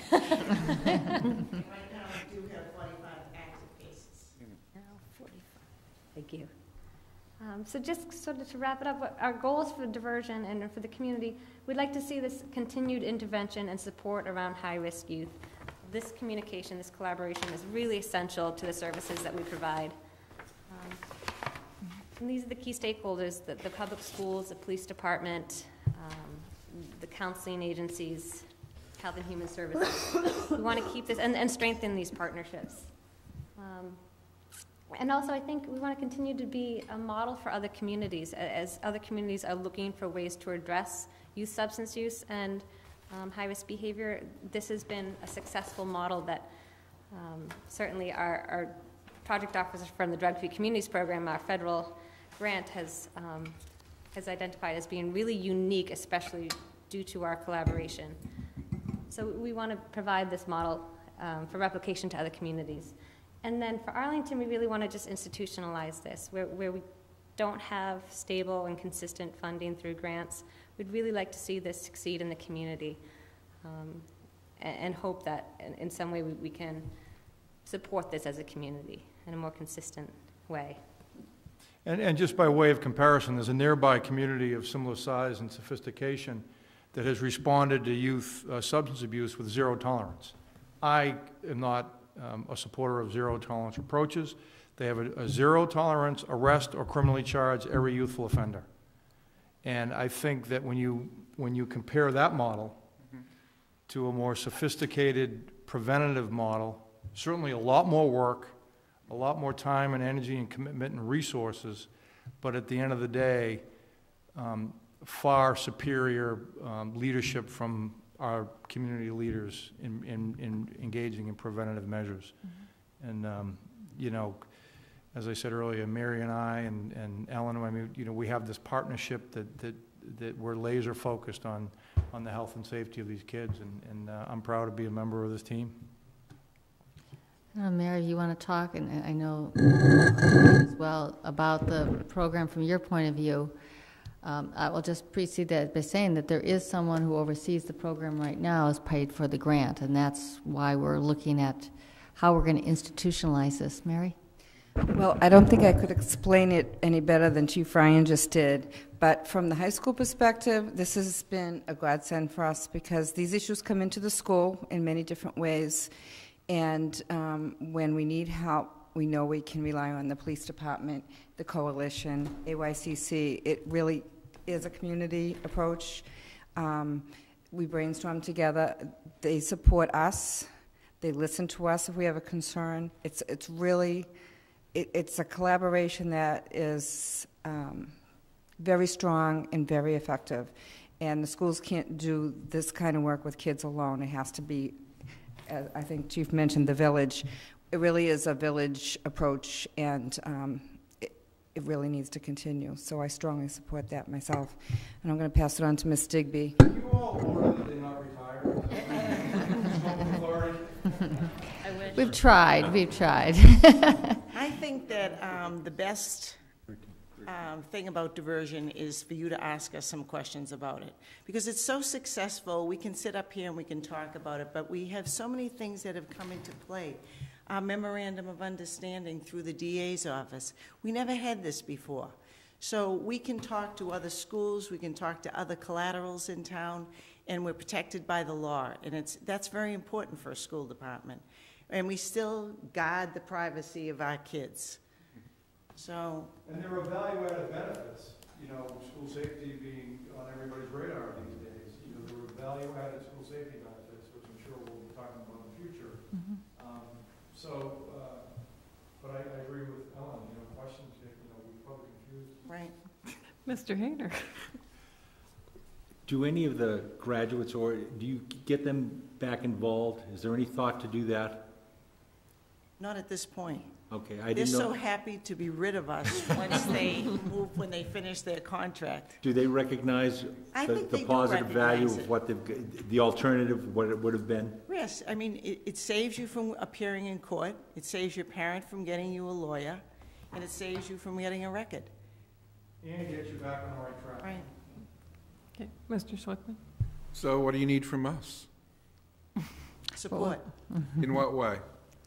Well, I think that when Colleen tells you the amount of money that we're gonna need, I think that Fred is gonna kick in, and the school department's gonna kick in, and we're gonna make it happen. It's a labor-intensive process. These follow-ups and oversight is very labor-intensive. You know, Managing forty cases is, is, is tough. Um, but a good investment from our perspective. It's a great We've event. managed their community service. Last summer in all that heat, those kids are out there pulling weeds and painting, and, I mean, they do it. I'm just seeing the value in it, and, uh, and, uh, and this is just, I think, a stellar program, and, and, and I want to know what we can do to let this flourish, because I, I can tell you just from your numbers that you've made a difference in, in the lives of, of these young people, a very positive difference, and, and I want this to go on. Right, so we incorporate this in my job description as number one. And then that, the person that takes over, whenever we post it, Mm-hmm. that person will have responsibility. Mm-hmm. Ms. Oh. Starks? Um, so how many, uh, students can we handle at one time now? We have forty-five right now. Yeah. And there's always room for more. Mm-hmm. Right, so what is It's the current? seventy during the summer. Mm. Seventy during the summer? And how many staff do we have that work in the diversion program? Well, right now, there's about three or four of us that work. But that's not counting that they have to go for substance abuse, they have drug screening, they have counseling. Okay, but the people who are administering, making sure, following up with them, checking in with them, doing all of those things? Our school resource officer, myself, and uh, uh, another coalition member. Okay. Can I, I have lots of questions, so, And can I there is, keep going? there is one diversion coordinator that choreographs all that. So it falls under that person's area of responsibility. And then, um, you know, as, as she needs support from coalition, or the police department, from Ellen, it's provided. Well, may I just jump in here too? What we're proposing, and we can get into more details in a minute, we're proposing to co- combine Ms. Digby's role, which is, while it's a school year role, the truth of the matter is, she really does work most of the summer here and there on, because the issues with children don't go away. But we're thinking of combining the two because the kind of partnership that goes on, the, the person who's the coalition diversion director works closely with Ms. Digby, with the chief, with the principal. And so it makes sense. All, all of that would come together with one person. And uh, of course, financially, it will be a larger uh, salary than currently we're having for, for um, Ms. Digby's position. But that's where the chief was talking about how we're all going to sort of, uh, we're going to contribute to that. But that's why we're here tonight. We're trying to lay the groundwork for why this diversion program is something we don't want to lose. And if we didn't think, we're either going to have to fund it the way it is now, but the money would have to come from someplace to pay for the person who coordinates it. But even though we're not happy with uh, this decision to retire. It is, it is, be- presents an opportunity to let's rethink this role and make it a 12-month role and wrap the two together. That's what's going on, and, but we want, because it's going to cost us, the district, more money, I want you to be convinced that this is important. Okay. Let me just ask so we're clear on what the plan is. So right now, there is Ms. Digby, who is attendance officer and. Court liaison Court and our. REMS director Okay. for all of the. So we have that. Mhm. And there is a diversion coordinator who's funded by a grant, which is gonna, the money's gonna go away. Correct. And is there anything else that we're gonna be talking about that we need to know about? The job itself is very broad, and it's very difficult in, as you see the draft job description in front of you, to incorporate into a position title all the aspects of the job. And, you know, I'm, I'm actually open to a creative title that would incorporate all the aspects of the job. But it, as, as Dr. Bodie mentioned, it includes the attendance officer, court and home liaison, um, diversion coordinator is part of this, REMS. There's so many aspects to it. But there's not enough other people out there that we have to be thinking about funding and stuff to at this point. Okay, so it's No. just taking. It's just taking. It's taking the one- two. It would be one position, one person in one position in a very broad, defined job that Okay. incorporates many different uh, functions. Okay, now we'll go back. Ms. Starks. Okay, so we are not increasing the number of people who are helping in the diversion program. No, you're not. Okay, that's my concern. Mm-hmm. Yeah. Because this week, finding out that this was on here, I reached out to several people I knew whose children are on the diversion program, who have been in the diversion program. They say they love it, absolutely. Best thing that ever happened to their kids. But the, the problem is it's understaffed. That there's not enough follow-up, that there aren't enough check-ins. So I was hoping that we were adding to the program, which is why we had this. So that's why all of my questions about staffing. Take more. Okay. Um, I have another question. I was hoping that you could explain to people how individualized the plans are. I I know for myself because I did some research, but um, I understand that there's a big difference. I go to a party, I have one beer, I happen to be caught up in a sweep. That's one level, or that could be one set of things. Mm. It's very different from a kid who broke into a car and stole a GPS unit. It's very different from a kid who's got a drug problem, who also may get caught up in a sweep, but had drugs on them. Mm-hmm. Can you explain how those plans are created and what, wha- how individualized they are? Well, I think Because I think also- that's a real strength. This also comes from the police report. Mm. It's generated from the police report and how that police officer has written that report. Because if we do have a sweep, which we did have, and we had 17 young people involved in it, and they all were charged the same, because it's like the other jobs you do. If it's across the board, if you don't live in Arlington, you get thrown out. It's like the same with this program. Mm-hmm. So we charge them with minor in possession. We give them community service. Um, If they are in minor in possession of alcohol, they have to have a substance abuse. If it's minor in possession of marijuana, they have that as well in a drug screen. And they do have check-ins, and they have check-ins through Arlington High School. And we have permissions from the parents to do drug screens, which we do. We have a separate area which we do them. It's not in the clinic. Children have privacy, and it's worked out very well. Um, So it's a boilerplate contract that is then modified based on the individual circumstances of that particular case. Correct. And it even, and I don't want to take too much time, but when there are cases where there are victims involved, we've also um, engaged the use of a restorative justice model, where we bring victims in, in a very structured environment, where they can sit face to face with the offender, and the offender can learn the harm they caused to the victim. Then a contract is developed, and that's been an extremely rewarding experience. So both the offender and the victim feels far more restored than they do the traditional criminal Right. justice system, because they don't have an opportunity to, to weigh in on the contract. in Right, and see them face to face, right? So it's, it's modified based on the individual circumstances of the case. Great. There is sort of boilerplate. Sure, sure, you got to start somewhere. Right, and if I may just add, um, as Chief Ryan mentioned and Ellen mentioned, so there is a, a set contract, but then the coordinator does meet with the youthful offender and their families to kind of tailor it to their individual needs. And with the substance use evaluations, which are actually required of all youthful offenders, just because we do see a correlation between any high risk criminal behavior and substance use, all middle school and older do have to um, participate in a substance use and evaluation and adhere to any recommendations that come out of that evaluation. So that's another individualized component of the contract. And, and a failure results in a criminal complaint. And Mr. Thielman. Well, for a comment and then a couple of questions.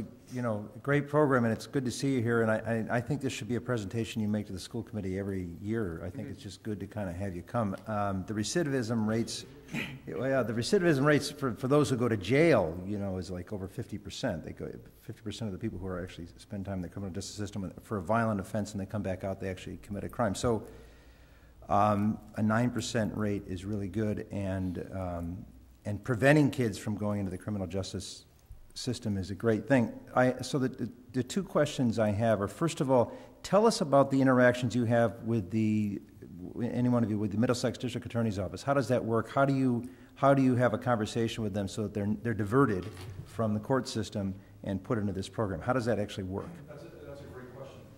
Um, may I? Mm, Please. Um, one of the challenges with uh, the DA's diversion program was that the, uh, the district court clerks and juvenile court clerks wanted post-criminal complaint diversion. And uh, we felt strongly in Arlington that it should be pre-criminal complaint diversion. The, the, the criminal complaint is sort of the carrot that can become a stick if necessary. Right.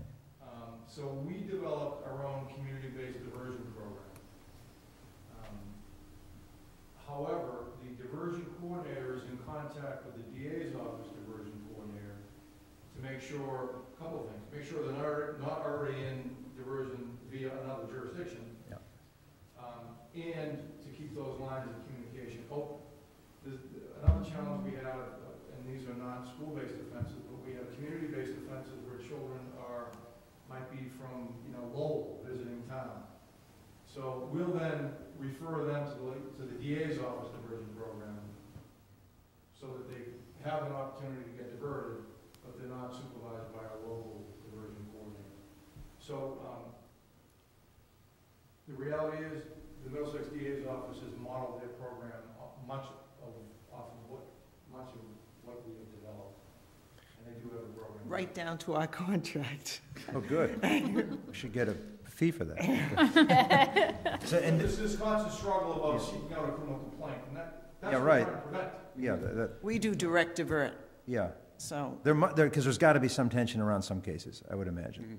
There is. Yeah, I would, ima- I would You imagine. know, uh, you know, there's, there's been some allegations that, you know, it hasn't been, um, um, given out fairly, and there was, you know, but these are growing pains. Right. And, and to the extent that we're diverting children, not giving them the scarlet letter, you know, not everybody's going to be happy, Yeah. particularly in, in our business. Um, But, uh, and we've learned from our mistakes, we've modified the contracts, we've, we've gone back to the drawing board as needed, we're, we're open to constructive criticism. Um, And, and, um, I encourage each of you to reach out to us if, if if you haven't, we, we welcome you. And, th- and just to clarify, this program covers students until they're seniors in high school? It, Well, in the community, Some until they're beyond. twenty years of age. Is it- Twenty years of age. oh, so, so, so 20 years of age, okay, so it covers the 20 years. So it's, it's a real community-based Yep. model, Okay. not Good. just, not just school offenders, but community offenders as well. And then the, the question about, um, d- do you feel, I mean, and- and honestly, that you have enough resources to meet the demand, to keep up with all of the s- students and young people you have to serve? You know, I mean. Obviously, in a perfect world, there'd be more resources, but, but, In an ideal world, we'd have more teachers and more police officers, and more people. yeah, yeah. Um, That said, I, I think we provide a quality diversion um, with proper oversight. Um, I'm hearing tonight, maybe we need to be a little bit more um, uh, thorough on our follow-ups, and and we're going to take that um, um, as, as good bona fide feedback. You know, could we use more resources? Becomes a matter of priorities, and and, um, Dr. Bodie is willing to uh, ask you for resources. I've spoken with the town manager, and we're going to step up and provide some resources and institutionalize this thing. Make it a, a piece of, of, of the town of Arlington and, and not rely on our.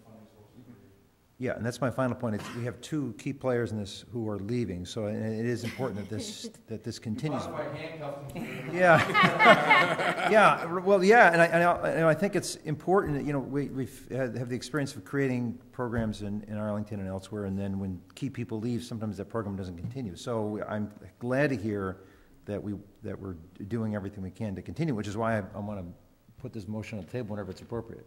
I'd Wanna- like to Let's, ask- let's keep Well, it people, says, yeah, okay, yeah. so I'm, I'm going to vote for this as soon as we get to put it on the table. Okay. Um, I, w- I want to first start by saying I really appreciate the value of this program. Um, As somebody that works in the school system, that at the community-based justice meetings is constantly hearing about diversion program successes. Um, You know, I really think that this is fabulous. It, it helps children and it educates children, which is what we're about. Um, My concerns are that we're not looking for enough resources to actually do justice to both of the key components of this new position. Um, So what I'm hearing is, is anecdotally, I'm sorry, I- I feel like I'm getting feedback. Um, What I'm hearing is anecdotally, this might not be enough. Um, I don't know if you've looked at the number, the overlap between our court-involved um, students that um, our attendance officer and court and home liaison looks at, and the diversion program students, and whether there's any overlap, but with the new um, CRA law, what the attendance officer is doing and the home school, home court liaison is doing has now increased, because the burden of um, intervention is now even greater on the schools. And then to have this all rolled into one position, um, I can't help but wonder if we're setting up so much that it's going to be hard for this person to be successful at any aspects Well, with that the- much on The the new plate. CRA law has also opened the door for parents. Um, That has given them more latitude to go down and file on the kids. And before, it used to be just a six to 16 window. Now it's a six to 18-year-old window, because we don't want these kids to drop out. And it's the parents that can go down and hit that window. So that's very important. Warrants, you can't do anymore in CHINS. We used to do CHINS warrants. You can't do that with this new law. Um, You can get a, um, an apprehension warrant, from what I understand today, from the court. But you can't even hold a child after 4:15, after the court closes on a CHINS. So we're not relying on that CHINS or the new CRA. We're relying on our resources.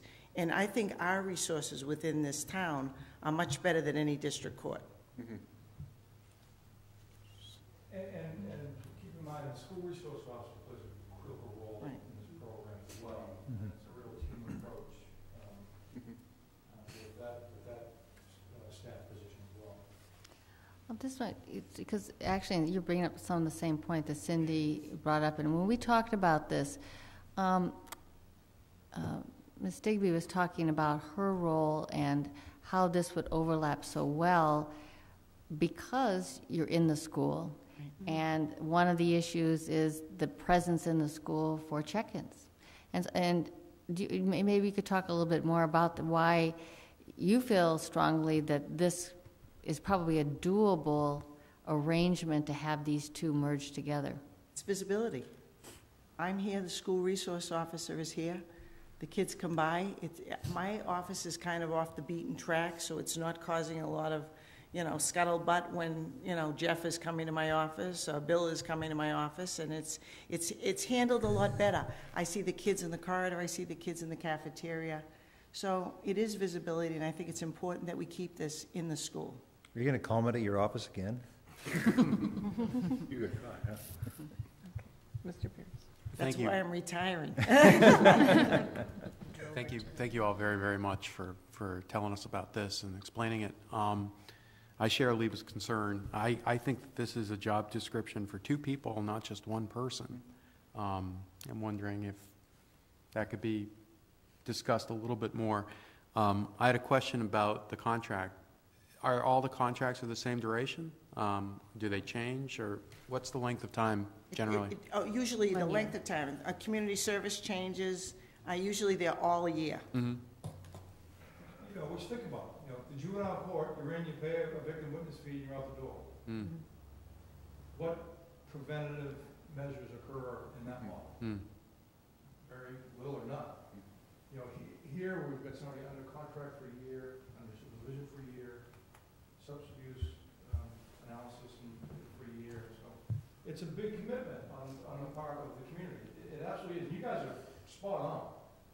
Absolutely, it's a big challenge for this team. But we also recognize the resource challenges in the community. And, um, so we try to be responsive in our request for, for those chal, for those valuable resources, and we think we can get it done. Also, just um, to address some of the concerns about the two positions, um, just to clarify, the current coordinator position for the diversion is only part-time. Um, So where there are many similar or even overlapping responsibilities with Ellen's position, this will also bring it to full-time and, Right. again, increase visibility at the schools, but also in more exchanges uh, during the school day. So it's going from 41 weeks to 52 weeks, which is huge. Mhm. Thank you. So I had a couple questions too. Um, I had the same kind of timing commitments, um, wondering if this is more than one person can do, not that you folks aren't hardworking, strong people, just there's only so many things you can do at once. Um, and then one other question I had was, I just wonder how much time the diversion program saves on the police side that, you know, instead of having to funnel these kids through whatever happens on the police side, um, they're kind of shunted off, and, and so it seems like there is some resource, time, and effort saving on that. Yes, that's an excellent point. It's, it's actually a shift of, of sort of, uh, job function. So that, under the traditional model, we have a police prosecutor that works out of the police department that, that shepherds any criminal complaint through, and navigates it through the criminal justice system. Um, You know, so in a case that's diverted, she doesn't have to do that. But then those responsibilities shift over to the school resource officer, who then works with Ellen and the uh, diversion coordinator for oversight on the diversion contract. So it's, it's a shifting of function rather than an elimination of, of function. The challenge we're seeing is, you know, um, and, and, you know, um, people think I'm crazy when I say this, but, you know, we're seeing fewer arrests. That's a good thing as far as I'm concerned. If I can get it down to zero, you know, I would consider that a huge success. Um, you know, sometimes, you know, when, when, when you're trying to justify budgets or justify your existence, you try to inflate numbers. We're doing the opposite. You know, We want to be in the preventative mode, and if we could have zeros across the board, I'd be very happy with that. Okay. Not, not being our budget. I mean- Right. Okay, just, so, just We're a moment. town meeting. So I had one other idea f- for funding. Can't we franchise this? And charge, charge other towns franchise fees? This is a joke. Anyway, Mr. Schlichtman. I just have one other question, given the fact that we do have a um, job description in front of us. What is our prognosis for recruiting and hiring a qualified candidate into the position? Uh, I think our prognosis will be good. We will, once this is approved, we'll post it. Um, We will post internally, we'll post on, on SchoolSpring and maybe some other resources that would attract uh, the types of candidates who would um, be attracted to this position.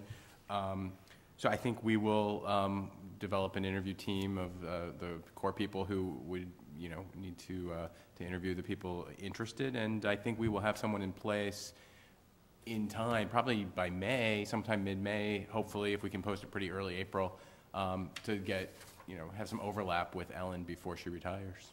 Thank you. I just didn't have any experience with hiring this kind of. Yeah, you know, and it's a new position for me to hire, and maybe the, the chief and, and other people can, uh, can speak more to it. But I, I do think we will have some interested candidates. Um, we're looking for people with criminal justice, kind of, uh, uh, people who have worked with, with juveniles in the past. So I think there are people in the community who would meet the qualifications, Okay, certainly. Okay. Mr. Thielman? So I move that we approve the position of attendance officer, court and home liaison, and diversion coordinator. That's one job for those of you listening at home. Okay. Uh, Did you want to speak to your motion? I think we've had a good discussion about it. I favor it. I think that we should adopt the motion now, and then over time evaluate the needs of the program, have them come back uh, in a, you know, next fall, and if there's uh, pressures that uh, we, that they can't keep up with, talk about additional positions. But for now, approve this and move forward. Mr. Hayner? Under the qualifications, it says uh, preferred study in criminal justice. As you go through all the different aspects of this, it sounds like this person is going to be need, uh, to be well-grounded in the law. I- Are, are you folks satisfied with the qualification aspects of this? Absolutely, Fine. absolutely. Okay. And, and it's got a real preventative hmm. um, tone to it, and that's what we're about.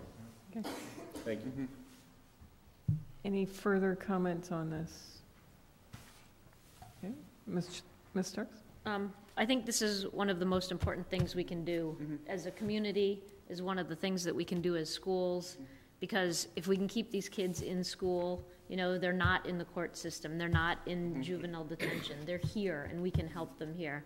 I personally talked to so many people who this mm-hmm. changed the lives for their kids, you know, because they may have been dealing with an issue, and you know how kids are, they never listen to their parents, and something happens and they end up in your program, and just knowing that someone else now knows and someone's paying attention, the fact that they don't repeat and that they do realize that it's important that they figure out how not to do whatever it was they were caught doing. Um, I am concerned that we don't have enough um, help, even if what you think you need is part-time clerical work. Maybe it's the paperwork or something, some small way that we can, you know, may not be another position of this size or, or depth, but if there's any more help that we can be, please let us know, because I feel like this is so important. I just, I, I really want to support this in any way we can, because, you know, I-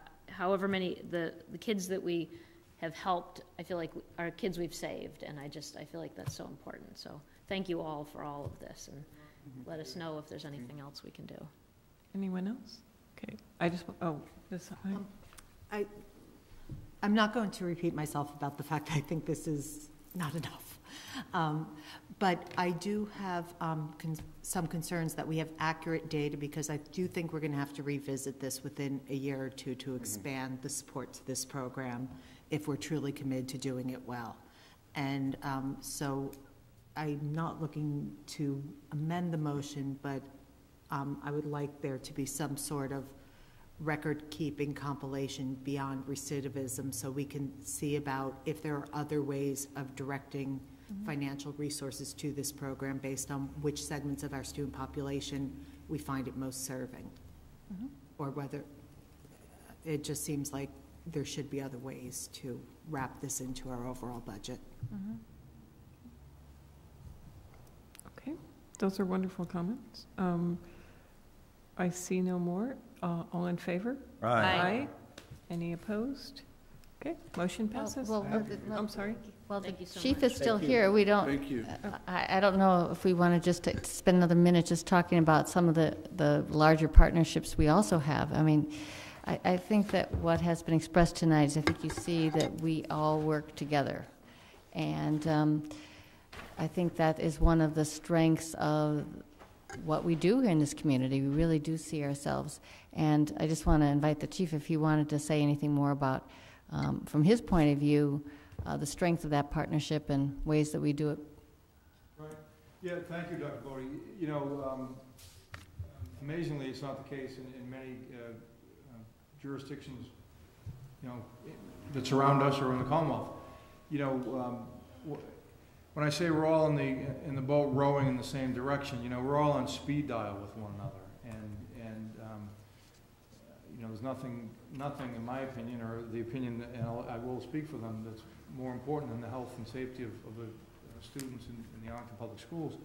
But, you know, the partnerships are, go beyond those informal speed dial type. You know, Ellen mentioned the formal MOU. We, we, um, the coalition meets monthly on Thursday with uh, all of the stakeholders. Um, Dr. Bodie is involved with the coalition and- and intimately aware of the business that we do.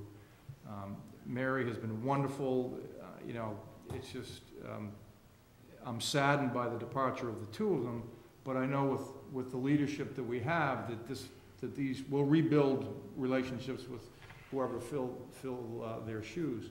So um, I, I think the point is, is, you know, um, there's the informal networking that really is very important in, in real life every day, but there's also the formal um, legal documents that, that empower and enable us to share information in a timely manner, which is critically important when we develop information uh, about Right. um, safety issues. Well, I value the partnership we have, and we talk Regularly. regularly, yes. My wife's been talking about that. Uh, But I also want to take this chance, because, because Ms. Digby, Ellen Digby, who is a- just such a trusted and wonderful colleague, um, want to acknowledge the work she's done here in this district. Uh, It's, the list goes long, One more year. It's, no, it's been fun. It- Yes, but really, talk about lives being changed. Um, She has had that effect on many students. And I bet there's some adults here who have relied on your sage and no-nonsense um, wisdom. And we want to let you know how much we've appreciated it and what a wonderful colleague you've been. And we will miss you, but well-deserved, eh, moving into this next, next phase of your life. next Next phase. phase, next phase. Well, thank you. Thank you. Mr. Schlichtman? I also want to commend Chief Ryan since he's been here and during my previous uh, tenure on this committee. Uh, it's been obvious that uh, the chief has been intent on maintaining relationships with the school department, uh, both the formal and informal. And, and the care and commitment that he's had for the children of this town has been outstanding. And this is just another uh, manifestation of it. Uh, thank you for your service to our town as well. Thank you very much. I'm a proud graduate of Arlington High School. And he wasn't in diversion.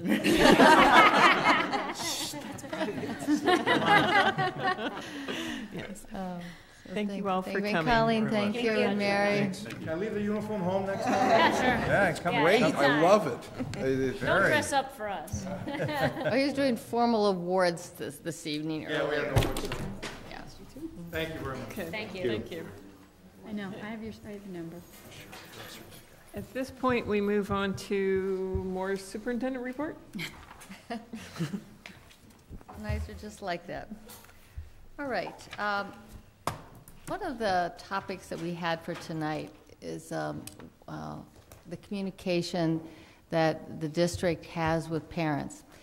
And at your places is a survey that um, we have constructed, and I understand completely that we are amateurs uh, at this, at this endeavor. I will say that in constructing this, we looked at lots of surveys to try to get to, I think was the intent of what this committee was looking for in the way of information, both in terms of both directions. You know, what ways do they get information? What ways do they prefer to get information? What, how, what they basically think of our websites? But also, the other part of it is um, their feeling of their access to communicating to the district. So, what I would like to be able to do is to put this survey out to all parents and give a reasonable window of, uh, you know, maybe a couple of weeks to get feedback. But what I would like before we do that is to make sure that there aren't other questions or additions or changes that you might want to make. And I know the Curriculum and Accountability Subcommittee saw this the other day, um, but would like your feedback. And um, it doesn't necessarily, you know, you could email suggestions as we move along. But if you think it's fine, then we might just go ahead after the, after the holidays and, and uh, send it out. Mr. Hayner? Does- Is this going out just to this commu, the school community or the whole town? This would be going out to the parents in the school district. Now, that's a whole other issue. There was a question on the Vision 2020 this year um, to the whole community, and I can get you those results. So you probably already have them. They've been presenting them publicly at this point now. Okay, Ms. Starks? Um, on the ones, uh, like number one and two, um, I think six is check boxes, but seven might also be rank order. Um, where there is rank order, it's, I, I find that it's best if you tell people, um, for example, on number one, you might add with one most preferable and eight least preferable, so that they know how to rank order them. Some people rank the higher number higher, Ah, good point. right? Mhm. So you want to tell people, Right. Mhm. give a number one to the most important way, and an eight in this case, because there's eight choices. In a number two, you'd say, rank number one as the most important, or the most preferable, and six as the least preferable. So, you know, but just give them a little bit more, um, just. Yep, it's a good suggestion. That's the only thing. Ms. Hilliard? Um, The, some of this actually overlaps with what the um, Community Relations Subcommittee was looking for in terms of a survey. So I'm wondering, is there a timeline for getting this out?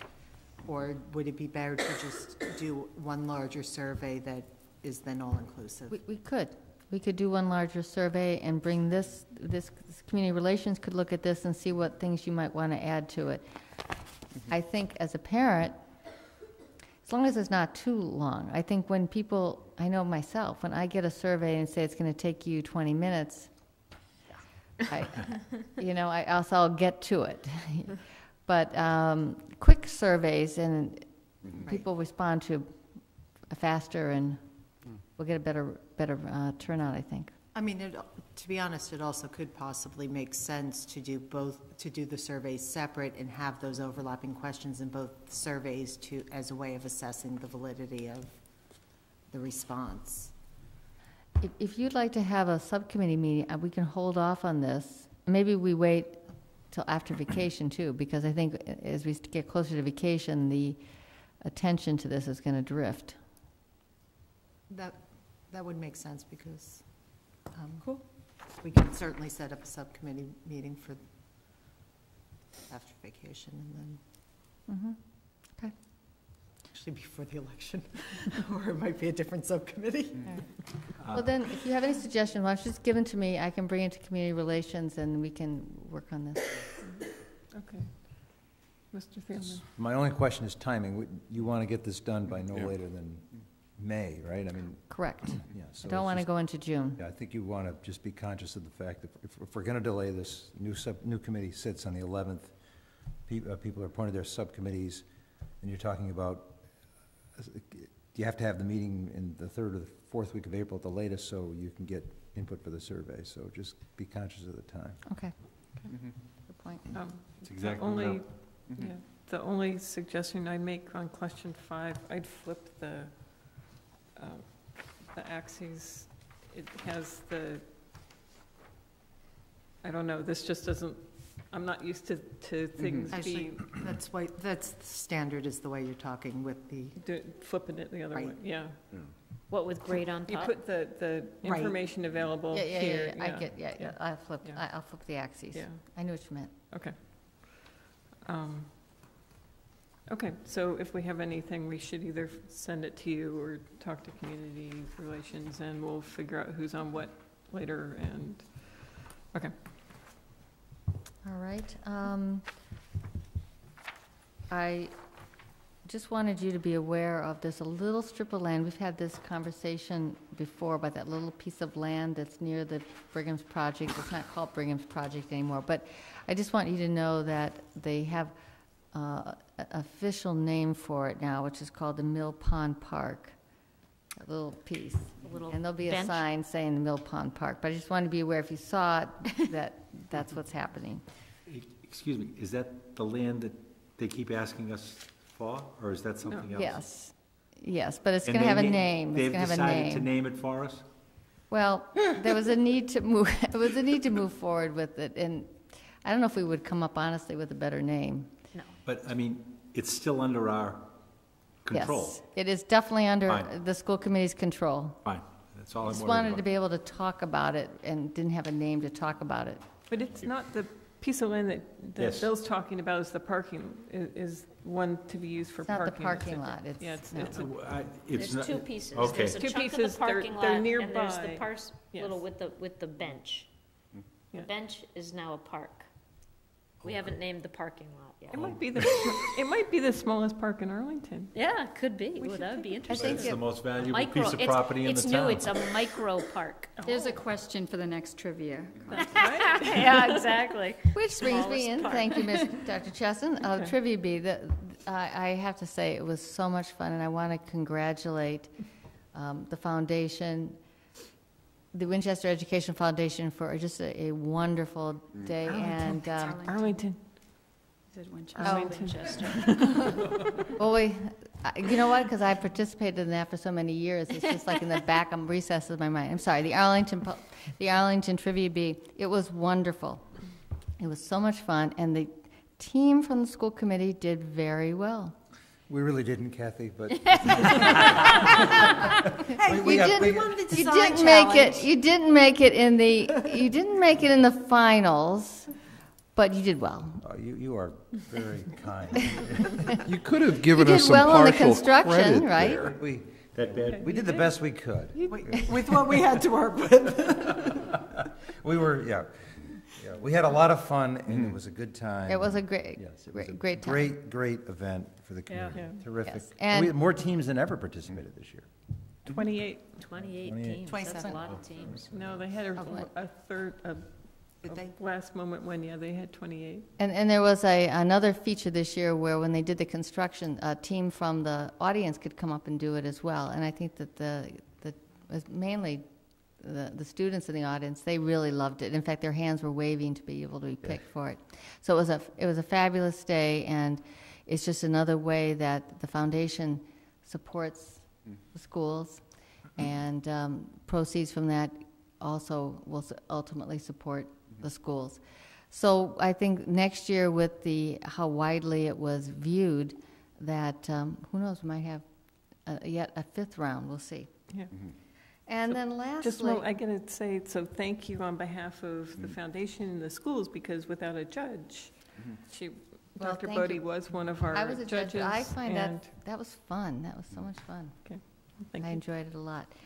And the last thing I wanted to tell you is that the we have completed kindergarten registration. Wow. Uh, yes. And the winner is?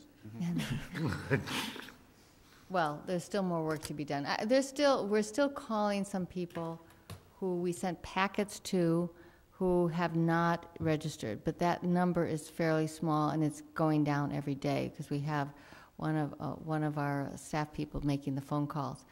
We also had a lot of people who put their registration into the computer but didn't come to register. Those people have been notified as well.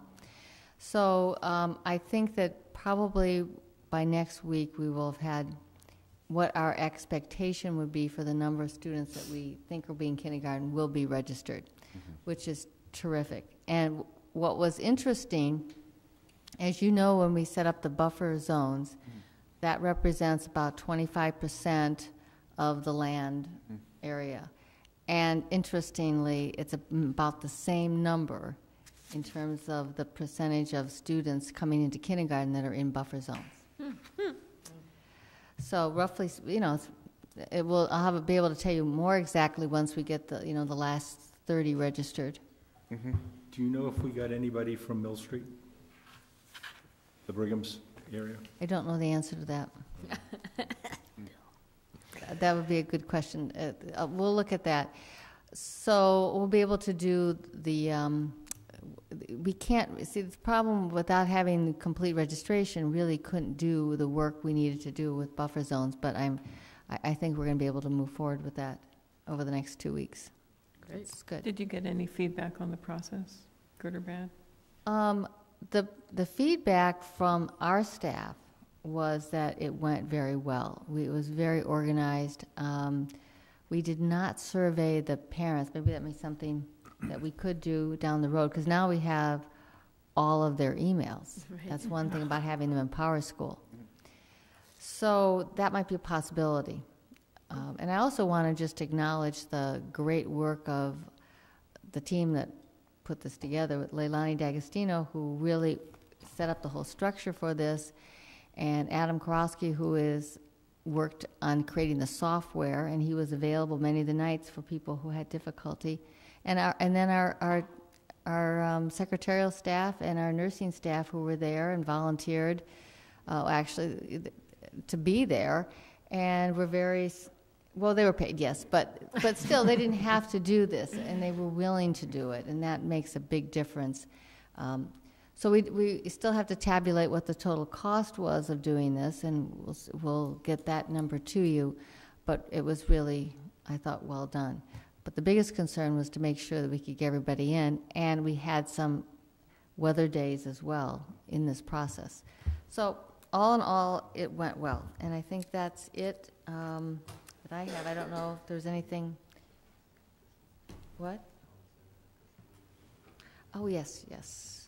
Thank you for reminding me.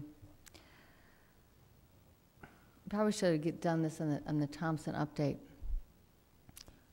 Um, the, what we have decided to do, um, and, and we've, is to open the after-school program at Thompson in the model of the Hardy School. In, in fact, the director of the Hardy School program is going to set up the after-school program and oversee the after-school program of Thompson. Uh, prior to the, uh, the project, Boys and Girls Club had a program there, as well as a program at Boys and Girls Club. And their, their after-school program remains very strong and will continue to remain very strong because there's simply not enough program space for all the students that want to be in after-school. Uh, But they agreed that it, that um, this is a, a fine uh, way to proceed. And in fact, I think over time, as we, we have other programs that may um, not continue, we- we're obviously going to have an after-school program at all schools, but the idea is that these will be under the auspices as, as, as other programs perhaps retire, that, we will continue this. So I'm very pleased with this. As you well know, the, the Hardy After School program, as, as many of our programs do, have a, has a wonderful, op, a wonderful reputation. Um, we will probably be able to, to have 100 students in the program, which would be terrific. So we've, we've, um, we've begun all of that work, and in fact, um, I think even this, this week, they had their first meeting with the Thompson families to begin the, the registration process for that program.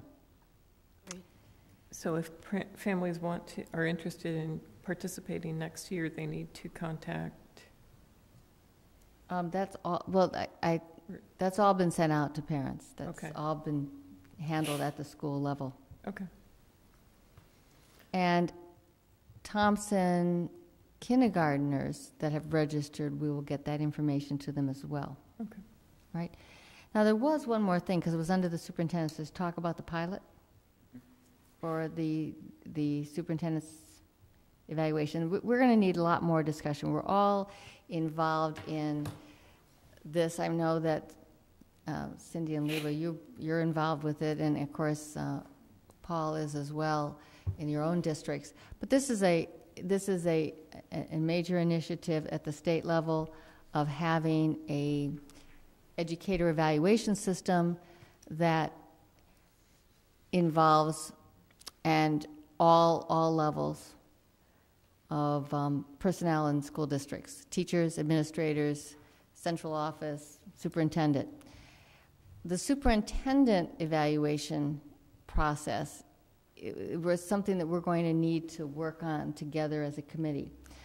Tonight is not the time to really get into that as much, but rather to talk about what a pilot would look like, just sort of to try it on a little bit to see what, what, how it would work, which is exactly what we're doing throughout the rest of the district. We've talked about that before, and. uh, Sure. You have a handout here, which is a purple sheet, the Arlington Effective Educator Development System. Do you have one on the desk?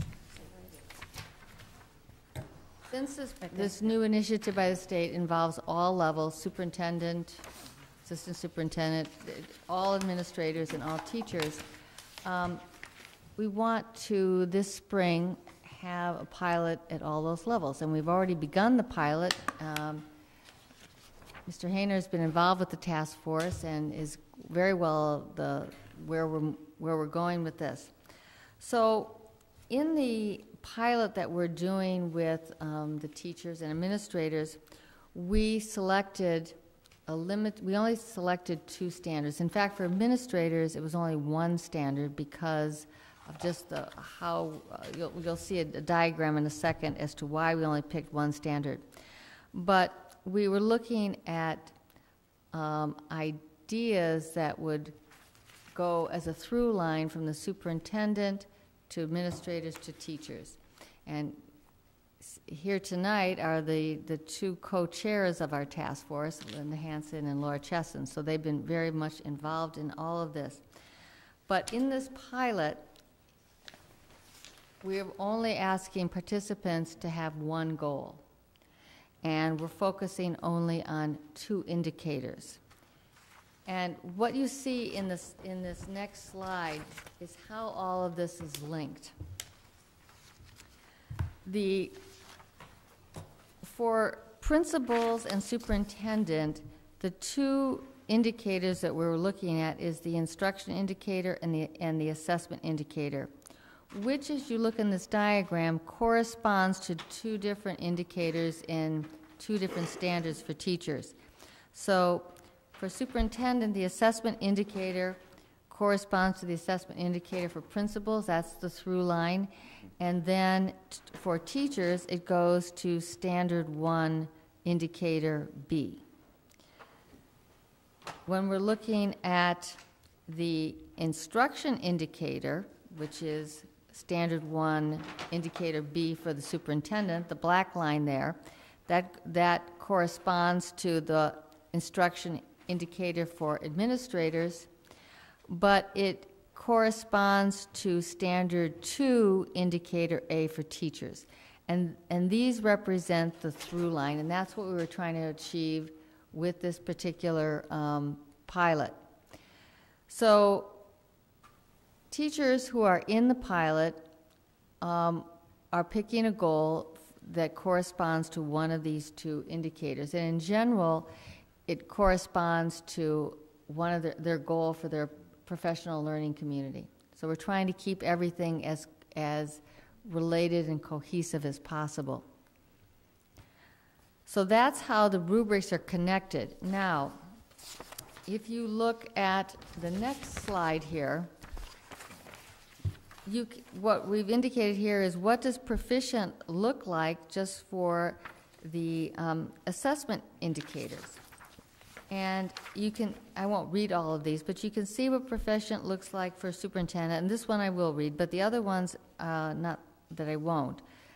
Uh, Proficient would be supports administrator teams to use a variety of formal and informal methods and assessments, including common interim assessments that are aligned across grade levels and subject areas. So the superintendent is working with the principals um, and making sure that this is going on at the, at the school or department level. And then the principal is working with individual teachers to support um, that work happening at the classroom level. So that's the idea is to have all of these um, be connected to each other. Now, one of the district goals, now, so the goals that the superintendent will have are going to be very much linked to whatever the district goals are. And then that continues in its through line through all- the entire process.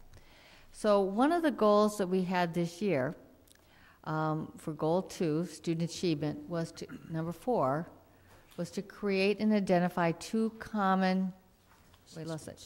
I- Two I common left off the word assessments. assessment, sorry. Two common assessments at every level in all disciplines to measure student progress in order to maintain high expectations for learning, teacher consistency, and a common focus on instruction.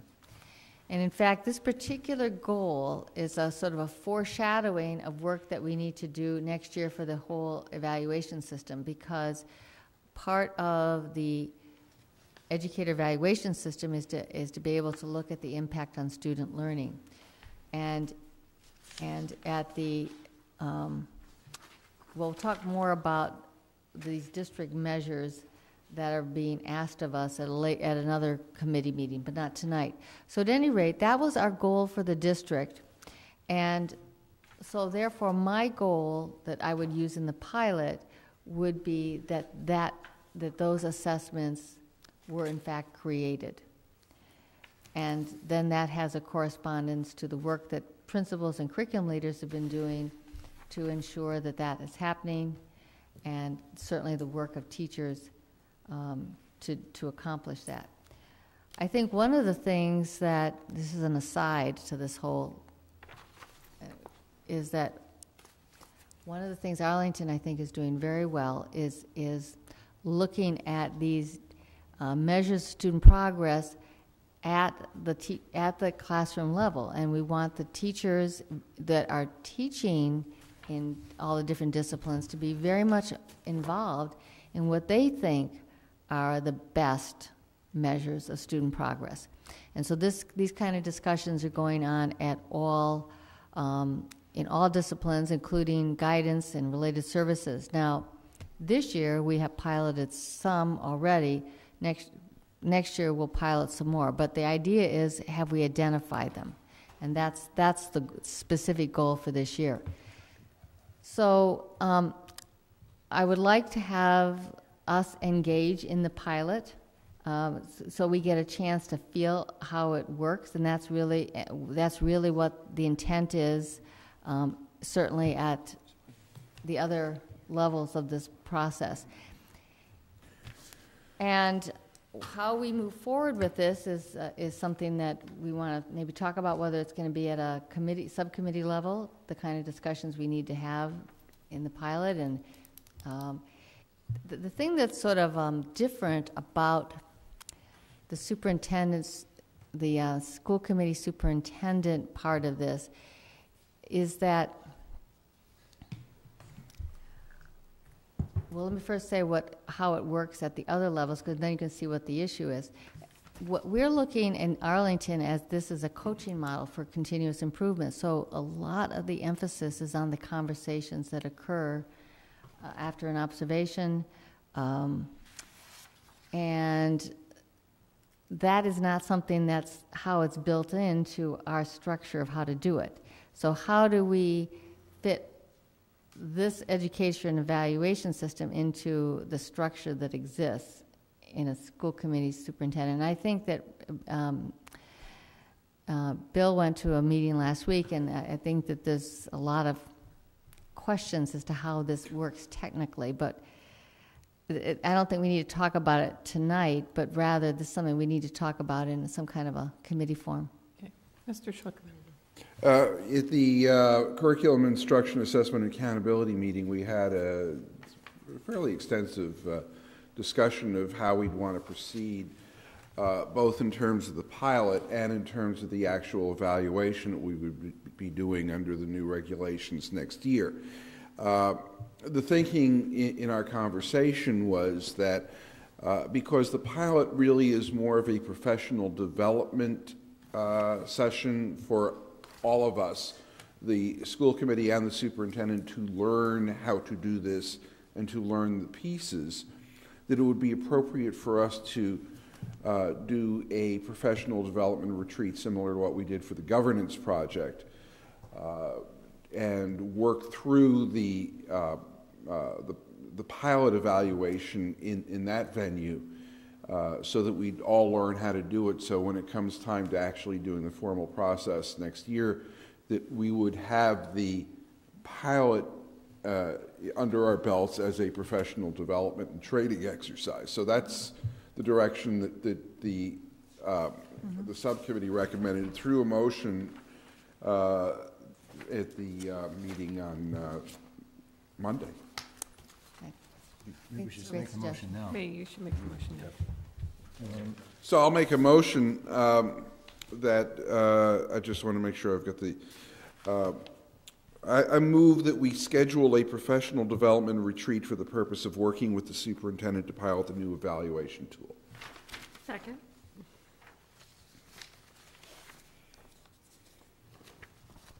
Does anyone have, Mr. Hayner? No? Oh, You weren't at the meeting, do you, did you, is you comfortable with this? Yes, yeah, I yeah, am. good, I think it's a great idea. I think it's a great idea. Just logistically, you know, we're gonna be bet- in this Mm-hmm. crazy time when we're, got a chair leaving, chair coming in, and all that stuff. So I think we should, s- if this is something, if we can get a doodle going, I realize that we, there's, a- there's an election, but if we can get a doodle going to get some dates on Mm-hmm. the calendar, it would be good to do. I'm trying to be as diplomatic as I can. We gotta get a doodle going. Mm. Even though there's an Chair election. has to doodle. Doodle a, doodle a, Okay. doodle and, We'll do it, we'll do it. Okay, doodle. how, Good how, doodle. how long do you anticipate this requiring? And, I, we're, we're not quite sure, but we figure that, uh, if we do a little bit of homework first, we'd be able to do it in one session. what, how long is this right, session? but how long is the Uh, session? I need to know how long to set the doodle up for. Oh, I, I would recommend six hours. Six. I don't think we need six hours. No, I don't think we need six hours. Okay, I'd recommend four hours. No. Okay. Um, having spent, my gosh, how many hours have I spent? At least twenty hours on the new evaluation tool and writing up the indicators. And I, I'm, my brain's going, it's like SEJ something, SEIJ now and all the stuff about how, the what formula you used to approach in the conversations. Um, I think this could be a very time-consuming process, and I think we need to look at it in two parts. Um, one, as negotiating some of the, not negotiating, but just um, working through some of the initial challenges around how we want to approach it, whether we would like to do some formal professional development around this, um, how we see structuring it, whether everybody's involved with each part, because i- in essence, I see that as somewhat guiding what type of um, retreats we need to have together around the tool. So I think this might need to be a two-phase part, the first phase being shorter, and then the second phase being somewhat dependent upon perhaps getting some sort of um, technical assistance or, or PD, more formal PD, and for us around this. I saw, Mr. Hayner. I agree with that concept. I just want us all to be aware, when DESE put this together, gave a lot of thought to the teacher aspect, chunked it up to the administrator, gave no thought to the superintendent, because you you now have one person being evaluated by seven, and I can't imagine at a regional district with 16 to 17 people, having to somewhat act independent and could coordinate and put it all together. Okay. So I would agree with, with Ms. Heigham's aspect of it. That's, so Initial- partly just having three had to set up doodles and stuff, and also thinking this is a pilot as opposed to the real thing, that there, we can also do the educate some, uh, I'm not sure, do all of us have to learn everything all at the same time? I would agree. And then um, build on Um, that. Actually, there's So- supposed to be inter-rater reliability in I'm, terms I'm of the not tool. questioning that, I'm saying we have to set up a pilot very quickly. And do we all have to be part of setting up that pilot very quickly? I'm not saying, once we get to the real thing, yes, all of us need to be at the, at the same speed, but there's a difference between setting up the pilot and doing the real thing. Mr. Schlichtman? Yeah, I, I, my original thought was to do two smaller uh, professional development retreats. One in which we get together to set the ground rules and figure out what we're doing, and second to pilot the actual um, uh, evaluation uh, with with each other, um, and th- that might be the way to go if we set. But the thing is, if we set up one uh, retreat, professional development session, eh, we could see where we end up at the end of that and make a decision as where we want to go after we hit the first one, because we are granted on uncharted waters, despite the fact that many of us have been trained to some extent within the new system, and the rubrics are pretty specific. Uh, it's more uh, an element of us getting a feel for how we are going to do this as a public body and how we're going to enter, engage in a relationship with the superintendent that's going to uh, honor her work and be a respectful, thoughtful process. Right, and, and part of my pushback is just coming from my experience in having to try and schedule you guys to go somewhere. And, Yeah. and um, so part of it, I want to be sure we all are needed. And second, I'm saying sometimes it doesn't happen. So right, right now, what I'm hearing is three hours as soon as possible. Do we need, is there anyone else who needs to be brought in? Dr. Bodie, Dr. Chesson, and. Dr. Bodie needs to be there. Okay, no, no, I know, I know, I'm just, how much, how, who else is? We, we did, we did talk uh, uh, that it might not be a bad idea to see if we can get Nancy back for, for this. But I think that we are uh, capable of doing this on our own. Okay. Who's Nancy? So. Walser. Walser. Walser.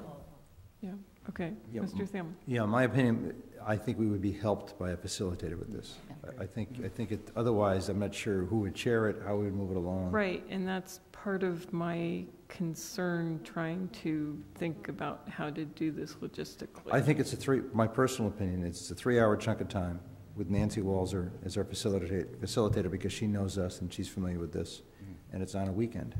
Okay, can I just propose an alternative, having not been at your discussion and just seeing this for the first time tonight? Mm. To me, it would make more sense if three of us, maybe one of the subcommittees, decides, we're gonna be the brain for this, and you guys figure it out, and then, and, and you could have the facilitator and, and talk, and work out which thing it is, what, you know, you pick, you're gonna pick the goal, you're gonna, to forward to the rest of us, you're gonna pick the indi- indicators and all that.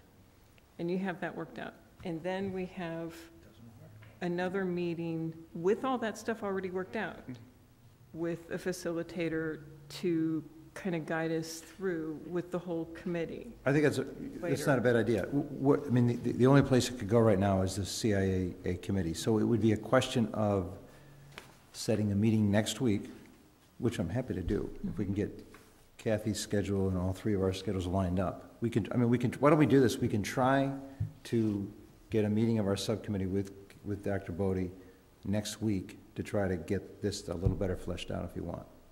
Okay. Ms. Heigham? I, um, I actually disagree with the concept of having a group of three do it because there tends to be an expectation that the work has already been done and then Mhm. we're just moving forward with it. Mhm. And this is one of the most important things we do in our, in our roles, is our evaluation of the superintendent. And to pretty much, you know, have this powerful tool, have three people bring forward a recommendation, but not necessarily have input from the rest of the committee around some of their concerns, and then, you know, get to the point where we're tweaking, it, it just doesn't seem like the way to, to build a system. And, and just to respond, so the reason I'm suggesting this as an alternative is that I'm not disagreeing that it's important, I'm not disagreeing that we all need feedback, but I'm saying what we have to do is bring a pilot to going from zero to 70 as quickly as possible. And we don't move that fast as a group. I mean, as, as a group of seven, we move faster as groups of three, and then we pull the rest of us along. And that's why I- And, and I'm not disagreeing with any of that, and clearly that stuff going, this, I'm focusing on this as the pilot, and I'm trying to pr- create a shape that then we can work forward from, and we're going to be saying, well, you know, I wouldn't have picked that indicator. So you know, you'll remember that when you go, when we have the real thing.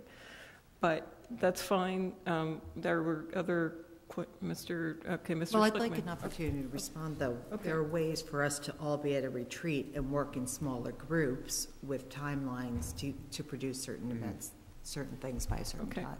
Mr. Schlichtman? Yeah, the purpose of the pilot is not to produce an outcome. The purpose of the pilot is to be the professional development uh, for the entire group. So for us to go and put it off to a subset of the committee, I think would not achieve the purpose of the pilot. I mean, the thing is, is we talked about the, the, the CIAA subcommittee could coordinate and make things work, but in terms of uh, the process and the learning involved, we all need to be there. Well, why, why don't we, why don't we do this?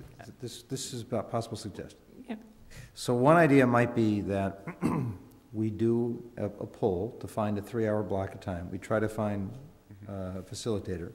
And if we could find a time for our subcommittee to meet, we can kind of do some thinking uh, next week for an hour about the framework or the, the, uh, what, what, the, the, you know, the, the structure of the retreat. So maybe, maybe what the three of us can do in a subcommittee, rather than design the whole tool, is just give some more specific, detailed thought to the, how the retreat would work. So we'd have two things going on simultaneously, an attempt by our subcommittee to meet next week for an hour think through the, the details of the retreat with Kathy there, and then a poll to find a time for a three-hour retreat sometime in April. Okay. I mean, I think that, that's, that seems to be where we're, the, the, the happy compromise here to get something moving. Agree. Okay. I agree that it's fine that a sub, like, like we said, it's a pilot, and we're all gonna learn from it regardless of how much each of us individually puts into it.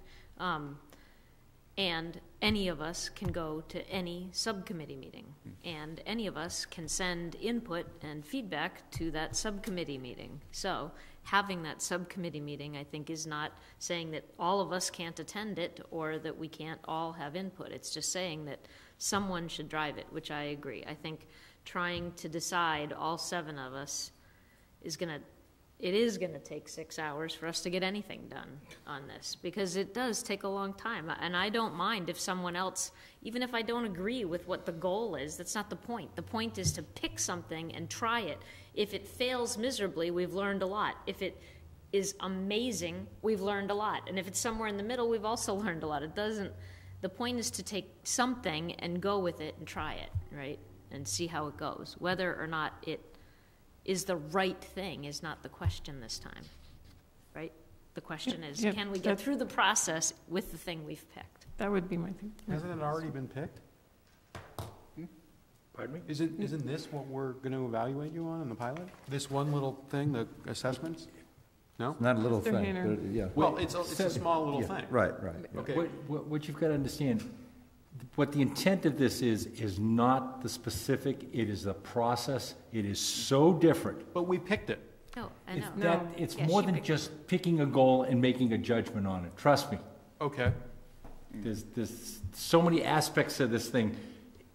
That's the easy part. All right. Okay. Am I wrong, am I wrong, So, Dr. we have a motion. uh, Did you want to say something? I'm sorry. Well, I was just going to say, I, I I think that the idea of retreat's a good one because even though it's the pilot and we're going to learn something from it, we have to really think about what it's going to look like next year because, again, think about the through line. So what we do is going to be, it's going to affect everything else as we go forward. And interlaced with this is, of course, the work we're going to do in the next month on district goals. And, because we've got to get those in place by mid-May. That's, that, I know, so there's a lot going on right now.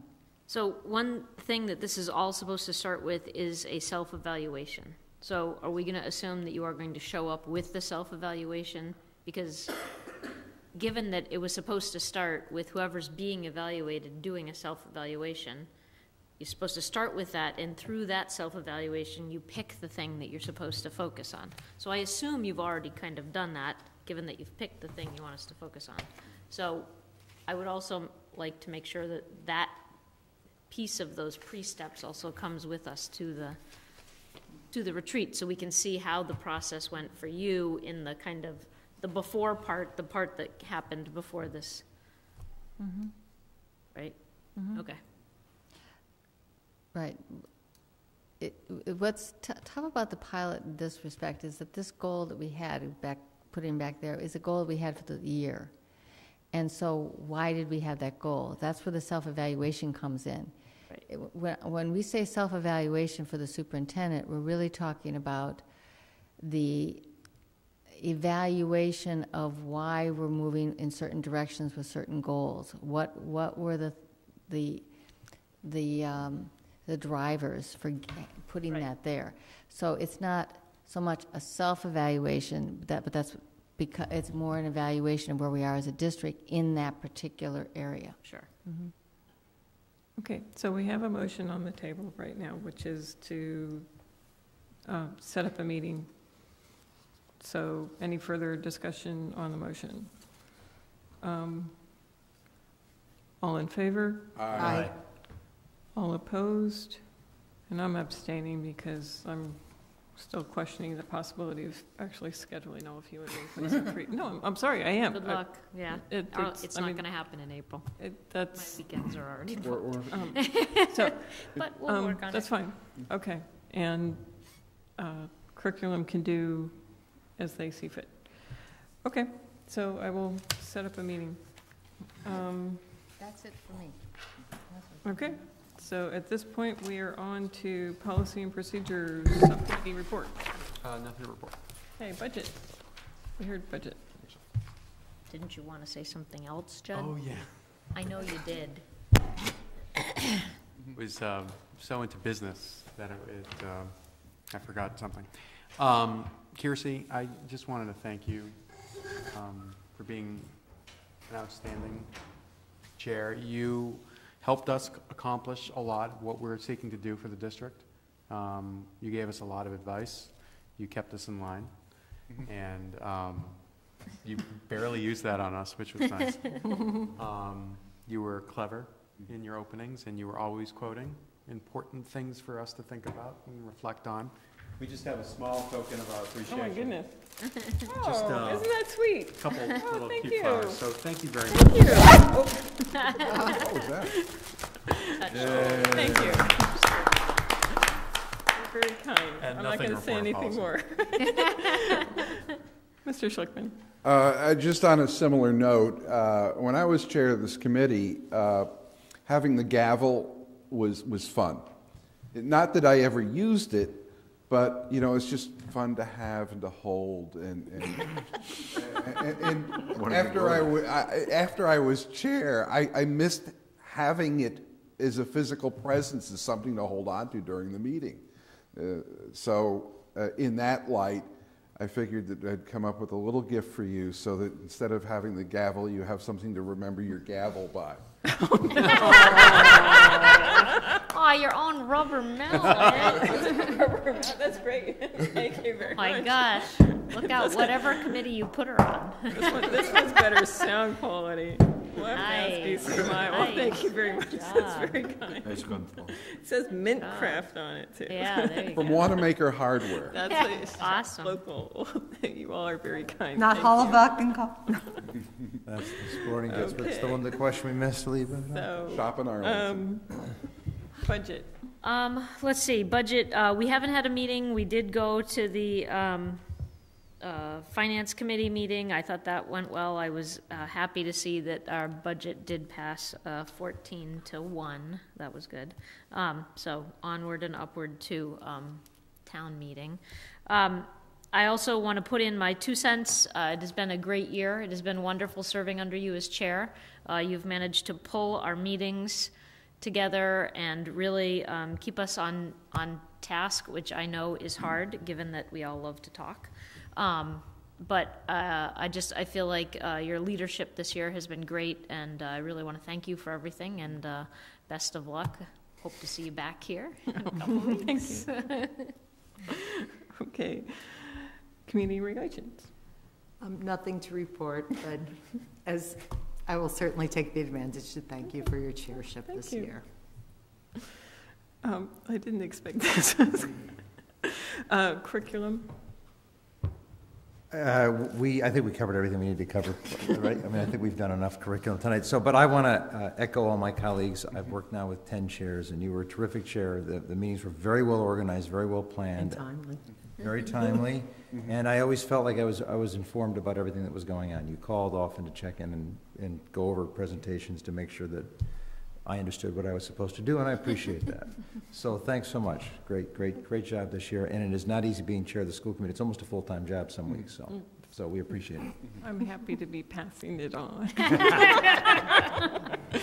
Facility. Again, nothing to report, but I would like to indicate that you've joined a unique group of people in my life. My mother, group of nuns, and my wife that have learned how to quiet me and shut me down right away. Without the rubber mallet. Yes. Wow. Thank you. Um, The next two. Also add mine, thank you. It's been a pleasure to work with you. And um, she is very organized. We go through with minute detail um, all of the parts of the, of the agenda, and I think that because of that attention to detail, we are very timely, uh, very much so. So thank you for that, and there are a lot of great things that I learned from you this year. Thank you. Okay, well, thank you very much. I didn't expect this. Um, You got your house earlier. Um, So actually, speaking of cleaning houses, so the next two things, so legal services. uh, I did underestimate my, the duties as chair, and I overestimated my free time, and the two collided kind of unhappily, and legal services was the victim of this collusion. Um, But we have made progress. Um, I'm hoping that the uh, presumed future chair would be willing to allow that committee to continue maybe for another month to six weeks after the start of the next year, just to pull our ends together. I'll have more time to put to it, and, and um, we, we've got loose ends that just need to be tied, and uh, if that, well, we'll find out. Um, And then as chair, um, I had a couple of things just to report. First, you all received somewhere that MASC's Legislative Day on the Hill, the schedule has changed. I didn't write down which day it's been moved to, but just so you don't have it already tagged somewhere, it's not in April. I think it was in May. It's in May now. Yeah. Um, Second, uh, we have, I just, you remember the letter that we report, uh, that we wrote about gun control? Um, Other school committees are now starting to realize that that would be a good idea to do. And Such we've been, Go-getters. uh, we have been requested to share our letter now with Cambridge, uh, Monomoy, is that how you pronounce it? Monomoy, yeah. Monomoy, um, and Wilmington so And far. Acton, Boxborough. Oh, and Act, no, Acton, Acton didn't want our They did letter. their They had, they They did their did own their letter, own. yes, Oh, they had okay. their own. Um, But, but those places have asked for a copy of our letter, and there may well be other ones coming. People are just starting to go, oh, yeah, we should do something What a great idea. um, So, and it gave me great pleasure saying, oh, yeah, back in December, we voted to do this. Um, And then the last thing is that we need to add a meeting, besides the meeting that you want me to doodle. The next meeting is, we need to add is a special, uh, which is the organization meeting. So I need someone to make a motion to have a organization meeting on April 11th at 6 PM. So um, moved. For the Second. purposes of organizing. Ourselves. Oh, herding school cats, committee. yes. Herding the Yes. cats, right. Okay, do we have a second? Yes, Second. second. Okay, and any further discussion? All in favor? Aye. Okay, so we'll have our organizational meeting. Um, And thank you. It's- I already, Jeff missed it, but I appreciate you guys. I listened to you. I learned things She's from you. learned a lot. I learned a lot. house. See, I, I brought, I see that, and I see, I remember the, how we began, yes. yeah. I didn't let Judd knock. Is it Judd down. gonna, Yeah, that's why. Judd didn't get to knock it down. Now he has to take care of it. I will. Thank she you. didn't tell you she Super glued the glue. I pieces recommend first. super glue. Contact glue. Okay, so, moving on, consent oh. agenda. All items listed with an asterisk are considered to be routine and may be enacted by one motion. There will be no separate discussion of these items unless a member of the committee so requests, in which event the item will be considered in its normal sequence. Approval of warrant number 13113 dated March 14th, 2013. Total warrant amount $563,416.61. Minutes for approval, November 15th, 2012, February 28th, 2013. Second. Oh, okay. I heard What happened? February 28th are being pulled. Any other minutes being pulled? Um, I'd like to pull November 15th just for some minor um, typograph Okay. cool, So, corrections. so at this point, the only thing that's in the consent agenda is the warrant. All in favor? Aye. Any opposed? Any abstentions? Okay, so the warrant passes. So we will take up uh, the February 28th minutes first. Uh, May I have a motion to approve the February 28th? So moved. Okay, Oh, wait, I was absent, I'm sorry, I can't. okay. Any, Is that why we're can I pulling them? have, yeah. Oh. uh, Judd and I Can were I both have out. a motion to approve the? So moved. Motion, okay. A second, Second, okay. Any comments? no. All in favor? Aye. Aye. Any opposed? Any abstentions? Two. Okay, two abstentions. Okay, now, the, may I have a motion to approve the minutes of November 15th, 2012? So moved. So moved. Okay, Second, second. Um, Any discussion? um, I'd like to make Um, um, some corrections. Okay. Um, And once I read these, I will hand my copy to um, Ms. Fitzgerald. Um, On page two of six, item number two, um, the second line of commendations, the word should be vibrant instead of vibrate.